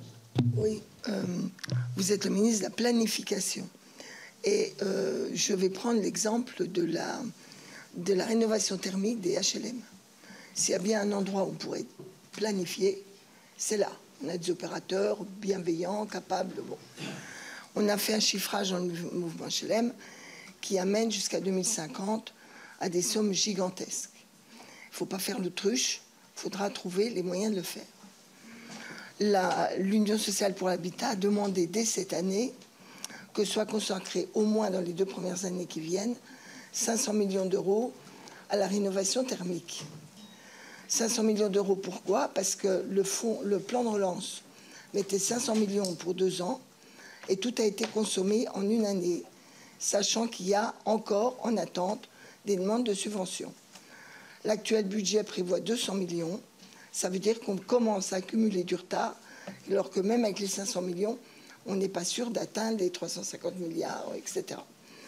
Donc ne croyez-vous pas que, soit dans le cadre du plan de confiance ou de l'accord de confiance que le gouvernement veut faire avec l'USH, soit par une procédure spécifique, il ne soit pas urgent de planifier de façon pluriannuelle fiable la montée en puissance de la transition énergétique. J'ai parlé de rénovation, mais il y a l'histoire de la seconde vie des bâtiments très anciens, qui est aussi une piste, mais qui ne peut pas couvrir tout de suite l'ensemble du parc. Deuxième sujet très rapide, aménagement du territoire. On n'entend pas de discours sur les nouveaux outils, la nouvelle stratégie d'aménagement du territoire. Or, ça devrait être impérativement un corollaire aux ânes. Parce que si vous avez une stratégie de rétraction des trop forte du foncier sans l'avoir planifié dans une stratégie d'aménagement du territoire, vous allez avoir une désertification des services publics, etc., qui va s'opérer.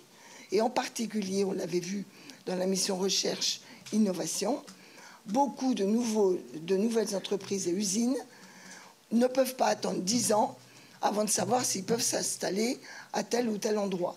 Donc ne faut-il pas un plan de foncier disponible pour un certain nombre d'usines et d'entreprises euh, qui prennent du terrain. Hein? Je ne parle pas de la petite euh, entreprise intellectuelle qui n'a pas moins besoin de travail, de terrain. De planifier des terrains facilement mobilisables, compatibles, parce que sinon, dès qu'il y a un projet, tout le monde se dit, je ne suis pas sûr d'avoir mon permis, etc. Troisième volet, le fonds friche. Le fonds friche est dans le fonds vert. Est-ce qu'il y a des crédits sanctuarisés? Et moi, je n'ai pas tout compris de qui allait décider de l'usage du fonds vert. Donc si vous pouvez nous expliquer en même temps qui va décider, dans quelle transparence et sur quels critères de priorité, ça nous paraît utile. Monsieur le ministre. Parc social. Le parc social est globalement en meilleur état que le parc privé. Et j'attire votre attention sur le fait que dans les débats qu'on a sur la rénovation énergétique, on a discuté des bailleurs. Notre principal problème, c'est les copros. Et le principal verrou, il n'est pas financier, il est juridique. Pourquoi est-ce qu'on arrive à faire des rénovations collectives dans le parc social? Parce qu'il ne faut pas une majorité de soutien parmi les propriétaires. À quoi on se heurte aujourd'hui? C'est au droit de propriété et à la nécessité de réunir une majorité pour être capable de faire les travaux. Bilan, il y a deux fois moins de passoires énergétiques, 9,5 contre 18,8 dans le parc social plutôt que dans le parc public. Mais ça représente quand même 460 000 passoires pour lequel, indépendamment du calendrier que vous évoquez, qui est juste pour 2050, on a des besoins à court terme. Je ne vais pas ce soir entrer dans le détail. Vous avez raison, je ne remets pas en cause les chiffres que vous donnez. Je considère que le dispositif euh, deuxième vie peut être un moyen d'aller redonner une défiscalisation à partir d'un certain niveau de rénovation qui permettrait d'enclencher et d'accompagner tout le monde. Mais je pense qu'il y a un autre angle mort dont nous allons nous occuper dans les tout prochains jours ou semaines, qui sont les bâtiments des collectivités locales et de l'État. Je vous parle de 380 millions de mètres carrés. À 1000 euros du mètre carré en moyenne, ça fait 400 milliards. Et donc, quand on met ce genre de chiffres, on comprend qu'à un moment, il va falloir qu'on innove indépendamment des crédits budgétaires et que nous vous proposerons des choses qui sont innovantes dès lors que c'est public. J'aurai l'occasion d'y revenir plus vite que vous ne le pensez. Sur le deuxième sujet qui concerne... Est-ce que je peux vous interrompre deux secondes, Monsieur le Ministre Ça va rendre les choses Sur compliquées, les Madame la Ministre. Parce que je là, si je commence à répondre à tout le monde... de propositions qu'on avait déjà faites. Très bien. Je, sur la deuxième question, qui est la question de l'aménagement du territoire. Aujourd'hui, on considère qu'il y a un aménagement du territoire qui s'appuie sur les SRADET et sur les régions, avec le fait d'assumer qu'on a des partenaires qui sont les grands élus locaux.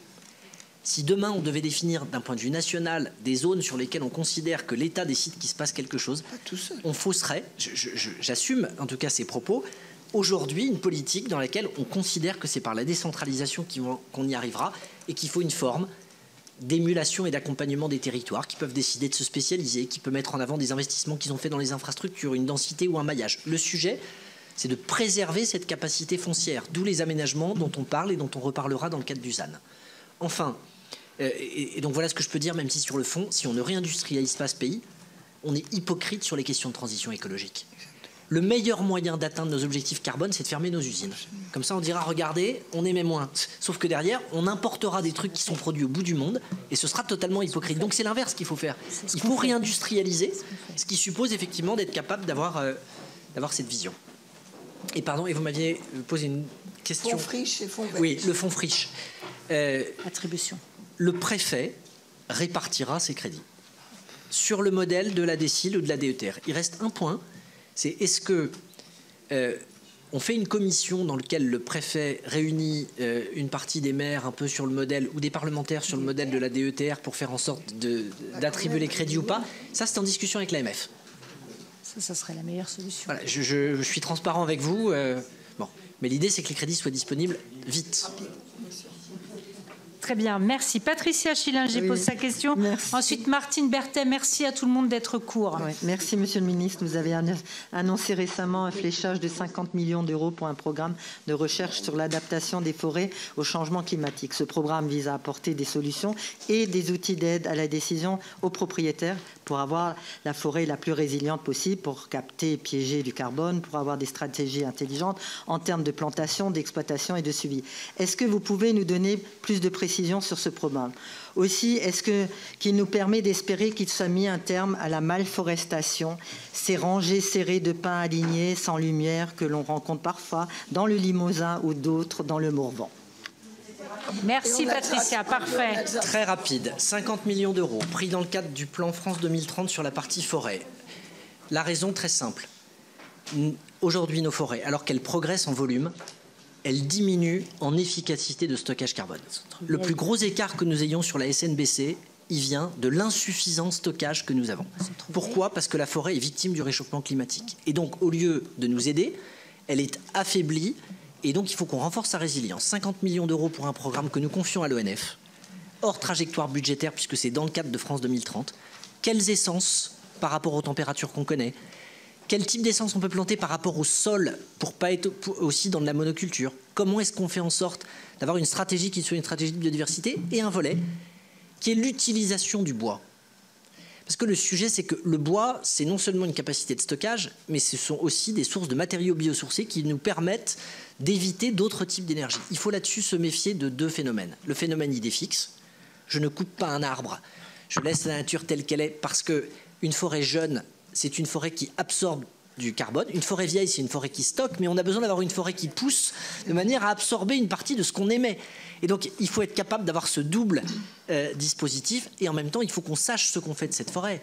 Parce que si c'est derrière pour faire du bois énergie, ça veut dire qu'on rebrûle ce qu'on a stocké. Donc, euh, qu'on l'imagine pour des haies, pour un certain nombre de choses, euh, c'est une chose, mais que ce soit la destination, à ce moment-là, ce serait une difficulté. Ensuite, je ne peux pas répondre sur le type d'essence, ça dépend évidemment de la stratégie, mais c'est l'objectif que vous décrivez, mais ça dépend aussi de la nature des sols. Et dans certains endroits où vous avez du sable, la possibilité d'aller varier les essences, elle est limitée par la nature. Très bien, merci. Martine Berthet, ensuite Bernard Buis. Oui, merci Madame la Présidente. Monsieur le Ministre, mes questions portent sur deux sujets, les ZFE et le loup. Le loup, pour commencer, que pensez-vous de sa protection à tout prix alors qu'il entraîne ou que sa gestion entraîne la disparition d'autres espèces de faune et de flore? Je pense au mouflon qui a disparu de plusieurs massifs alpins qu'il entraîne également la disparition du pâturage de nos alpages pourtant bénéfiques à la protection de l'environnement. Pourquoi, à présent que le comptage dénombre plus de 1000 loups, un nouveau seuil de 2500 loups est sorti du chapeau pour la viabilité de l'espèce versus les 500 demandés jusque-là? Quelle est votre position pour son déclassement d'espèces ultra protégées à protéger, comme nous le demandons et l'ont demandé tout dernièrement une quinzaine de pays européens? Concernant les ZFE, quelles aides Alors, les collectivités territoriales concernées commencent à s'affoler parce que quelles aides sont prévues pour ces collectivités territoriales Je pense à la nécessité dans mon département de changer tous les bus de transport public pour les agglomérations chambériennes et aixoises. Quelles aides et exonérations et comment par exemple, nous venons de découvrir aussi que les touristes pour nos stations seront obligés de passer par des ZFE Chambéry, Annecy, Grenoble. Donc comment cela va-t-il se passer? Quelles exonérations? Comment accéder également euh, pour nos populations des territoires euh, ruraux voisins pardon, aux voitures non critères 1 ou 2, comment accéder aux soins médicaux, hôpital ou autres sur ces ZFE? Quelles aides également pour les entreprises de travaux publics pour changer leurs véhicules très chers ou parfois pour lesquels certains équivalents n'existent même pas à faible émission? Merci. Merci Martine. Je, commence par la fin. J'ai volontairement réuni pour la toute première fois les 43 présidents d'interco ou maires des villes qui sont concernées par ces ZFE.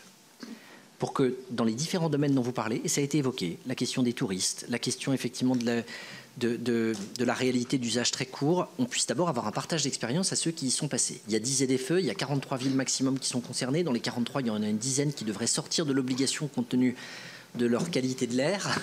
Et euh, très concrètement, c'est avec eux qu'on discute. Deux angles, la question de l'harmonisation, la question de l'accessibilité sociale. Il y a des dispositifs qui sont prévus d'aide, de prêt à taux zéro, de microcrédit, de surprimes et des feux. J'entre pas là-dedans. Parce que dans les questions que vous posez, euh, il y a aussi des réponses. Tout n'est pas binaire. Aujourd'hui, dans les 10, vous avez une ville comme Strasbourg qui applique un dispositif où 24 fois par an, même si vous avez une voiture qui n'est pas critère 1 ou critère 2, vous pouvez accéder partout dans la ville. Si on généralisait des dispositifs d'exonération temporaire pour des touristes ou pour des choses de ce type, ça pourrait régler une partie du sujet. Aujourd'hui, mais on peut très bien imaginer demain que ça se fasse avec d'autres types de dispositifs, y compris l'aide de la technologie, la lecture des plaques d'immatriculation, l'exonération de certains véhicules. À Reims, on a sorti les véhicules de secours ou de TP euh, de la liste des véhicules qui sont concernés. À Grenoble, pour le moment, les véhicules légers ne le sont pas, ce sont les poids lourds. Je ne vais pas entrer dans le détail. Ce que je peux vous dire, c'est que depuis quelques semaines, deux fois par an, le principe a été rendu qu'on se voit avec l'ensemble des maires pour répondre à ces sujets. Une campagne de com pour rappeler qu'il s'agit d'un jeu de santé publique et pas d'une fabrique à gilets jaunes la volonté de faire en sorte effectivement d'avoir des aides qui soient au niveau, et je reviens à ma discussion sur l'électrique tout à l'heure, aujourd'hui mon problème, c'est que pour sortir d'une partie des véhicules polluants, je n'ai pas forcément les alternatives d'occasion qui me permettent d'avoir des réponses qui sont crédibles. La question des bus, des réseaux de transport, du GNV ou d'un certain nombre d'éléments, ça on va le résoudre à l'échelle du ministère. Il ne faut pas qu'on ait des aberrations qui consistent à flinguer les transports en commun alors même qu'on prétend euh, prendre des alternatives à la voiture. Donc je peux vous assurer que sur ces sujets, euh, j'aurai des occasions de revenir vers vous. Le loup. Les comptages dont je dispose pour moi font état de 921 loups. Le chiffre de 2500, je ne l'ai jamais entendu. Euh, vous avez raison de dire qu'au moment de la réintroduction, le chiffre de 500 avait été évoqué comme étant très concrètement euh, l'ambition et l'objectif d'un plan national loup. Ce plan national loup, il arrive à échéance. Au premier trimestre de l'année qui arrive, la France va devoir effectivement à la fois définir ce qu'est euh, sa nouvelle vision. On a plein de sujets à régler. Depuis la question des patous, les chiens, en passant de la question de l'indemnisation, le travail de l'OFB, la position sur la Convention de Berne à l'échelle européenne. On a énormément de thèmes. Plus la simplification d'un certain nombre de tirs de prélèvement. Vous savez qu'on est sur 19% de tirs de prélèvement qui sont euh, autorisés qu'on ne les atteint pas parce que certains considèrent que ça va trop loin. Or, les 19%, ils faisaient partie du deal et de l'équilibre qui avait été passé, y compris euh, avec les éleveurs. Sauf que vous avez des questions d'autorisation administrative, l'interdiction des tirs multiples, la question des louvetiers, la question de leur équipement. Bref, plus des angles morts par rapport aux éleveurs proprement dit, qui fait que quand une brebis a disparu, on n'indemnise pas. Or, dans un certain nombre de cas, il peut arriver que le loup emmène euh, la brebis. Enfin bref, ce sujet, un, il fait l'objet d'une mission commune entre le ministère de l'Agriculture et le ministère de la Transition écologique. Deux, d'un benchmark européen.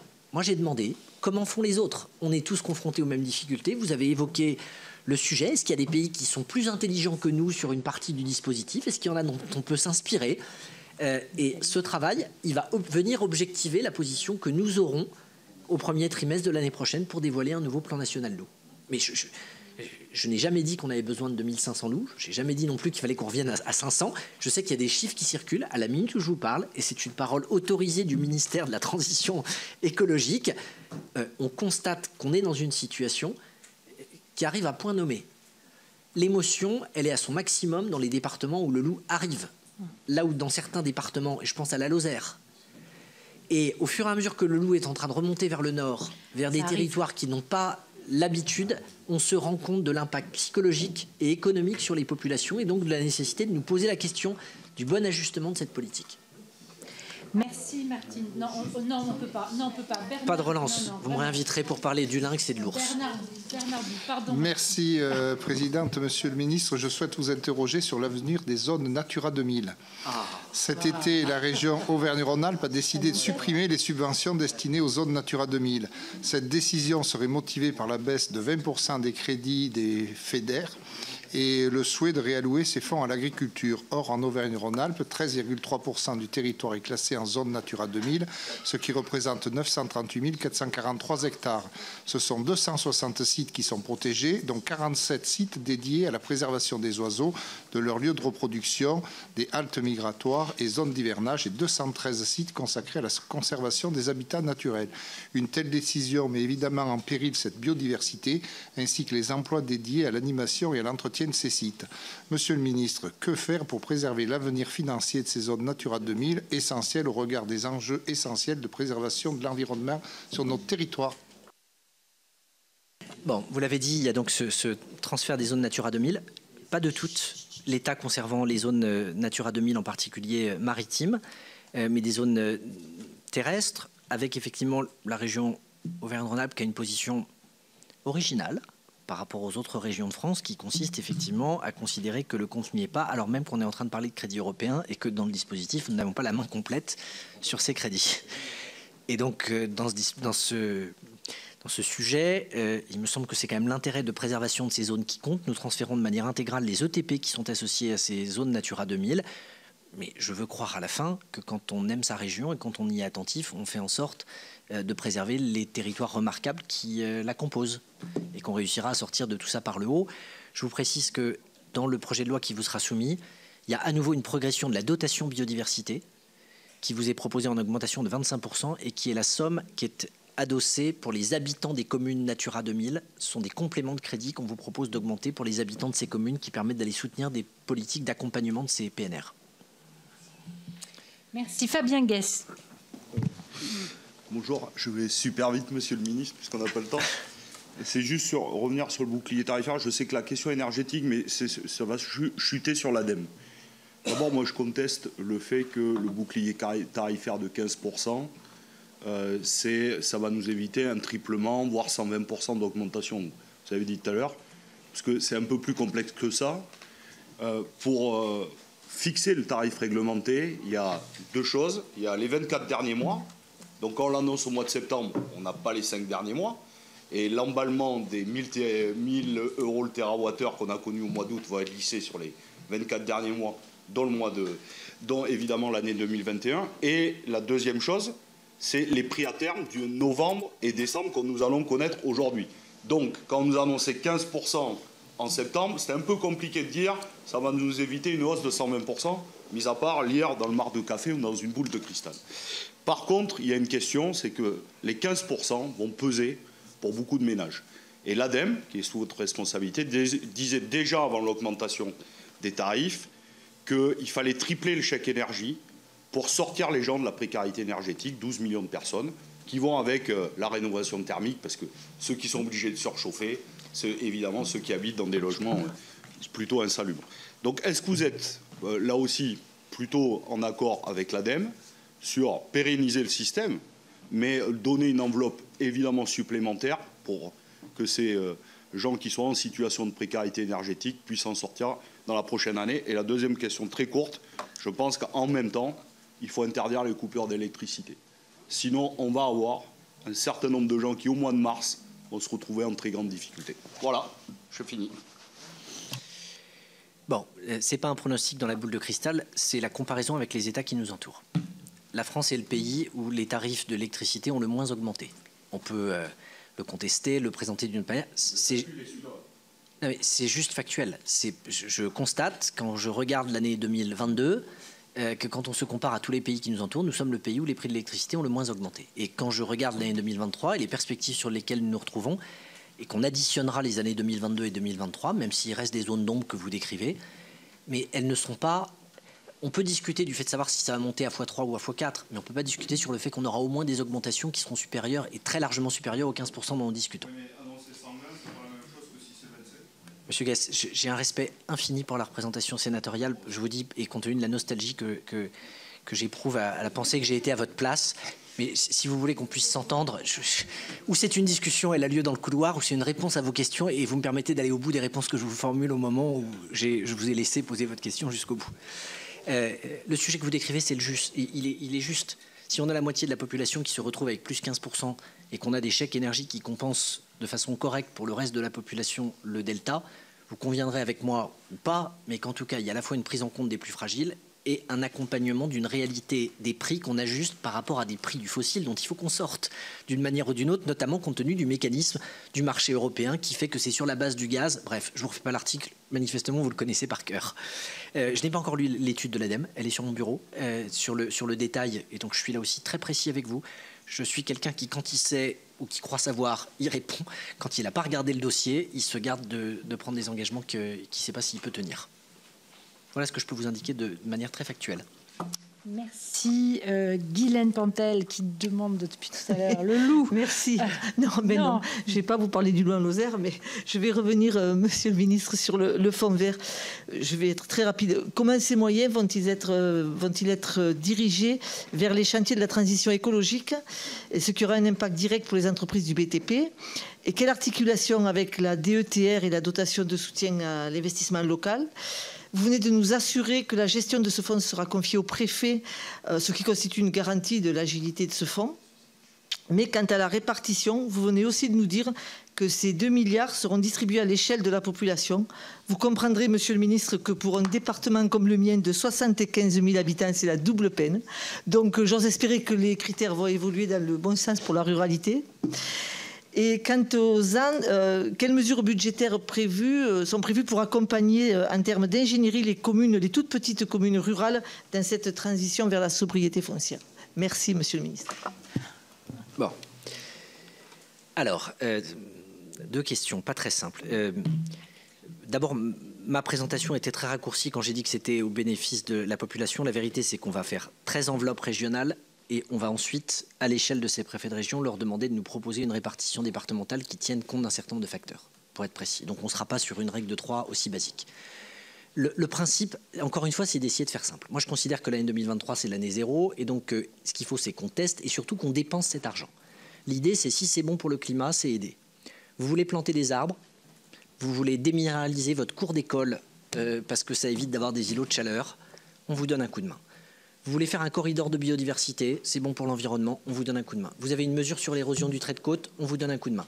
On est vraiment dans, cette optique en termes de porte d'entrée. Avec ensuite, sur la DECIL et sur la DETR, des crédits qui peuvent potentiellement s'ajouter si on retrouve un certain nombre de choses ou pas. La question que nous aurons à nous poser, pas pour 2023, à moyen terme, c'est celle du fait de mieux articuler les subventions publiques avec nos objectifs climatiques. Parce que si on est tous convaincus qu'il faut qu'on accélère et que la question c'est l'habitabilité de la planète, ça n'est pas stupide qu'on se dise qu'on arrête de subventionner des dépenses brunes pour reprendre les couleurs qui peuvent exister. D'où les budgets locaux. Parce que j'ai d'abord besoin d'avoir un outil de discussion qui permette de faire les choses. Si je ne l'ai pas, je, ne sais pas dans la discussion si je vais dans le bon sens ou pas. Voilà pour aller le plus vite possible. Sur le ZAN, euh, les travaux du sénateur Blanc m'inspirent euh, sur les outils de financement. Et je mets les pieds dans le plat sur un ou deux sujets. Il ne faut pas seulement qu'on réfléchisse à comment on aide à dépolluer. Il faut qu'on renchérisse le coût de l'artificialisation. Et moi, je considère que dans ce domaine, plus on va durcir la règle, plus on va créer de la valeur pour ce qui va devenir constructible, de manière totalement arbitraire, une forme de rente, en disant il n'y a plus que X hectares qui vont y passer. Donc on considère qu'il y a un surprofit qui est lié au fait que vous retrouvez, au moment où vous vendez votre terrain, qui vaut 1 euro, 2 euros, 3 euros ou 30 centimes en fonction des territoires et dont la valeur est multipliée par 100 ou par 1000 au moment où il devient constructible, que là, on ait des droits de mutation spécifiques sur le passage à l'artificialisation qui permettent d'aller accompagner une partie de mesures vertueuses, ça ne me choquerait pas. De manière générale, je considère que la transition écologique et sa planification, ces 22 chantiers thématiques qui ont été évoqués par la Première ministre, on insiste moins sur les 7 chantiers transversaux. Transition solidaire et juste, fiscalité, dans les deux premiers. La fiscalité, c'est que à somme constante, parce que je crois que si on transforme l'écologie comme prétexte pour aller fiscaliser les gens, on va les dresser contre un objectif qui est souhaitable. En revanche, qu'on aille baisser des impôts sur ce qui est vertueux et qu'on les augmente sur ce qui ne l'est pas, qu'on se pose la question par exemple de la fiscalité pour la seconde main ou pour le recyclage, qu'on regarde euh, pour les transports en commun, qu'on aille accompagner les processus d'artificialisation avec des mécanismes qui envoient des signaux prix ou des signaux fiscalité en fonction de ce qui est juste, on en a besoin. Anne-Catherine Loisier et on terminera avec Yves Boulou. Merci. Merci. Madame la Présidente, Monsieur le Ministre. Alors justement, pour, euh, pour rebondir euh, sur vos propos, euh, moi je pense qu'en matière de, de, de, de forêt, Euh, ce qui manque vraiment beaucoup aujourd'hui, Monsieur le Ministre, c'est des, des, systèmes d'éco-conditionnalité aux aides publiques qui n'existent pas. Et je pense que un, ce sont des éléments qu'il faut absolument mettre en place pour qu'on puisse vraiment s'orienter vers une stratégie, vers une stratégie vertueuse. Euh, deux points euh, rapidement. On a parlé ZAN, ZFE. On n'a pas parlé SNAP, Stratégie nationale des aires protégées, 30% du territoire, qui commence quand même à préoccuper nos élus, surtout que ça se fait souvent euh, avec très peu d'informations. Donc voilà, comment comptez-vous associer les élus dans le cadre de cette stratégie Et un point d'attention aujourd'hui, on rencontre beaucoup de difficultés liées à des prescriptions du Code de l'environnement en matière de protection d'espaces et d'habitat. Vous savez, c'est ces arrêtés nidification vous avez certainement entendu parler, voilà, qui pose, qui pose problème. Euh, qui pose problème pour la, gestion, la, gestion et les travaux en forêt, et qui pose aussi problème, Monsieur le Ministre, euh, tout simplement pour les OLD. On parle beaucoup aujourd'hui des obligations légales de débroussaillage, qu'on ne pourra donc pas faire, ou très difficilement, entre le 1er mars et fin juillet. C'est quand même un vrai sujet, voilà, au moment où ça va pousser. Donc, comment, euh, comment comptez-vous euh, dépasser ces obstacles et mettre en place des systèmes peut-être d'adaptation sur les territoires avec l'OFB, avec l'ADRIAL Merci. Je pensais que vous alliez m'interroger sur le troisième R, qui était les, sur le troisième Z, qui était les ZRR, parce que le, mot, euh, après les ZFE et les AN, dans ce qui m'occupe, il y a les ZRR et le fait qu'on va arriver en fin de dispositif. Je recevrai le Parlement rural le 25 novembre, vendredi de la semaine prochaine, qui sera une occasion avec la MRF d'échanger sur un certain nombre de questions et qui permettra d'accompagner cette grande semaine de l'association des maires et avec au cœur de tout ça, en particulier, les rapports commis par cette maison sur l'évolution des ZRR et sur les suites qui pourraient être données. Je pense au rapport. Euh, d'Espagnac, mais il y en a eu d'autres par le passé. Euh, c'est le dernier en date, mais il y en a quelques autres sur lesquels on aura l'occasion d'avancer. Sur les SNAP et sur les 30%. Euh, c'est très exactement la position que la France s'apprête à défendre à l'échelle mondiale lors de la COP 15 à Montréal. Préservation de 30% des terres et de 30% des mers, avec 10% de zones sur lesquelles il y aura un niveau de protection renforcé. on le fait dans le cadre d'une coalition que nous conduisons avec le Costa Rica et qui désormais a dépassé les 110 membres. On est 112 à la minute où nous parlons. Et avec la perspective d'essayer de convaincre le plus grand nombre de nous rejoindre. En ce moment même, c'est la journée biodiversité à la COP27, au cours de laquelle euh, Bérangère Couillard est en train de continuer à essayer d'élargir cette coalition pour que je puisse aller, euh, dans un mois, euh, porter, essayer de défendre la vision la plus large sur nos territoires. On a déjà pris un peu d'avance. En fait, il y a une hétérogénéité de situation, avec dans certains endroits pas de difficultés, voire des communes qui ont trop de zones protégées compte tenu du PNR dans lequel elles se trouvent ou de la zone Natura 2000, et d'autres plus de difficultés. Il y a évidemment un travail de, de maillage et d'explication qui est à conduire sur les nidifications, sur les sujets euh, de ces injonctions contradictoires. En particulier, vous avez totalement raison, qui peuvent se heurter à des obligations locales de débroussaillement parce qu'on va avoir un habitat à l'intérieur. On a demandé à l'OFB, euh, qui pour le coup euh, relève de ma tutelle, de, nous proposer des évolutions de conciliation. Et c'est ce qui amène parfois que le ministre que je suis est amené à trancher par rapport à des demandes de dérogation parce que j'ai deux objectifs qui diffèrent euh, qui sont tous les deux censés être écologiques, mais qui à un moment ne trouvent pas de point de convergence et il faut arbitrer entre les deux. Donc euh, c'est un travail de dentelle. Si j'avais une boussole plus simple que celle qui consiste à devoir regarder les situations au cas par cas, ce serait évidemment très important. Vous avez 100% raison sur l'éco-constitutionnalité. Et, et, si je peux me permettre, je pense qu'il y a un certain nombre de domaines où il faut qu'on pousse la logique. J'ai été trop vite tout à l'heure sur les véhicules électriques. Aujourd'hui, toutes les primes que vous avez pour acheter un véhicule électrique, votre seule obligation en contrepartie, c'est de le garder deux ans. Ça n'est pas raisonnable d'imaginer qu'au bout de deux ans, on peut revendre un véhicule qui a fait l'objet de 10 000 ou de 15 000 euros de primes. Et vous devriez durcir, si j'étais parlementaire, la durée de possession, y compris parce que sinon, on va organiser une filière de revente où les occasions dont on parle ne bénéficieront pas à notre pays, mais bénéficieront potentiellement à des voisins qui n'ont pas le même niveau de prime et sur lequel on aura des aides. C'est un exemple que je donne, il pourrait y en avoir d'autres. Un des enjeux pour la forêt, ça va être la mobilisation euh, de la finance carbone, et en particulier en provenance de l'industrie aérienne, pour qu'on aille mobiliser ces fameux crédits de compensation pour aller financer des programmes de forestation. Et donc, on aura un levier budgétaire durable, au-delà des 150 millions que nous mettons pour l'année qui arrive, toujours dans le cadre de France 2030, sur le plan de reforestation, qui pourra justifier, quand on l'écrira, de se poser la question de ce qu'on attend en face en termes d'accompagnement. Très bien, il reste une question. Dites-vous et après on vous le dit. Ah. Madame la Présidente, viennent. Ah, en dépit de l'opposition des, députés, le gouvernement a profité euh, du 49.3 pour rétablir les contrats CAOR dans le projet de loi de finances pour 2023. Quelle est, quelle est votre position sur cette question? C'est très court. C'est super. Euh, le, problème, c'est que la réponse mériterait d'être euh, fournie parce que les contrats de Cahors, ils n'existent plus. Le contrat de Cahors, c'était quand même l'obligation pour le président d'une intercommunalité ou d'une mairie ou d'un département d'aller signer chez le préfet un engagement comme quoi il allait enfin être vertueux en termes de gestion des finances publiques.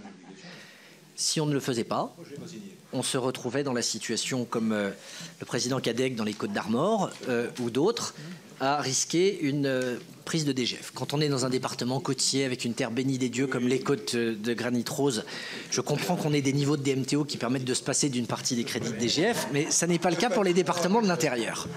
Je vous réponds de manière claire. Ce que nous avons dit aux associations d'élus, c'est, malgré la velléité là aussi ou les interrogations qu'avait Bercy sur le dispositif, c'est un, il est hors de question qu'on propose un dispositif vexatoire dont les résultats ont été spectaculaires sur le plan de la trajectoire des finances publiques, mais peu convaincants sur le niveau des amendes. Les contrats de Cahors, ça a été 40 millions d'euros en tout et pour tout de prélèvement, pour un coût en termes de déchirure de confiance bien plus élevé. On a donc flingué le dispositif de porte d'entrée et on a précisé que ce ne serait que sur la base des comptes administratifs 2023, c'est-à-dire au milieu de l'année 2024, que s'il y avait des dépassements par strate, on examinerait des dispositifs. Cet équilibre global, subtil, dans lequel le ministère de la Cohésion des Territoires s'était battu pour pousser dans le sens de la confiance, a été légèrement ébranlé par le fait que l'échec de la LPFP qui comportait le dispositif a entraîné la disparition du mécanisme et donc sa réintroduction dans le cadre de la loi de finances sous le couvert de l'article 23. Mais dans une écriture qui qui me semble modifiable pour revenir à ce qu'était l'état d'esprit il y a finalement une attente légitime des collectivités locales qui consiste à revenir à cette logique de confiance, et il y a une attente du gouvernement, qui est qu'à un moment, par rapport euh, à Bruxelles, on soit capable d'expliquer quand même qu'on a une trajectoire de finances publiques sur plusieurs années. Si d'une manière ou d'une autre, à l'occasion d'une commission mixte paritaire, il y avait une forme d'accord entre le Sénat et l'Assemblée sur ce sujet, ça rendrait caduque la nécessité de disposer d'un article 23 dont la rédaction est abrasive pour les associations d'élus. Je peux difficilement être plus clair à ce stade, monsieur le sénateur. Oui.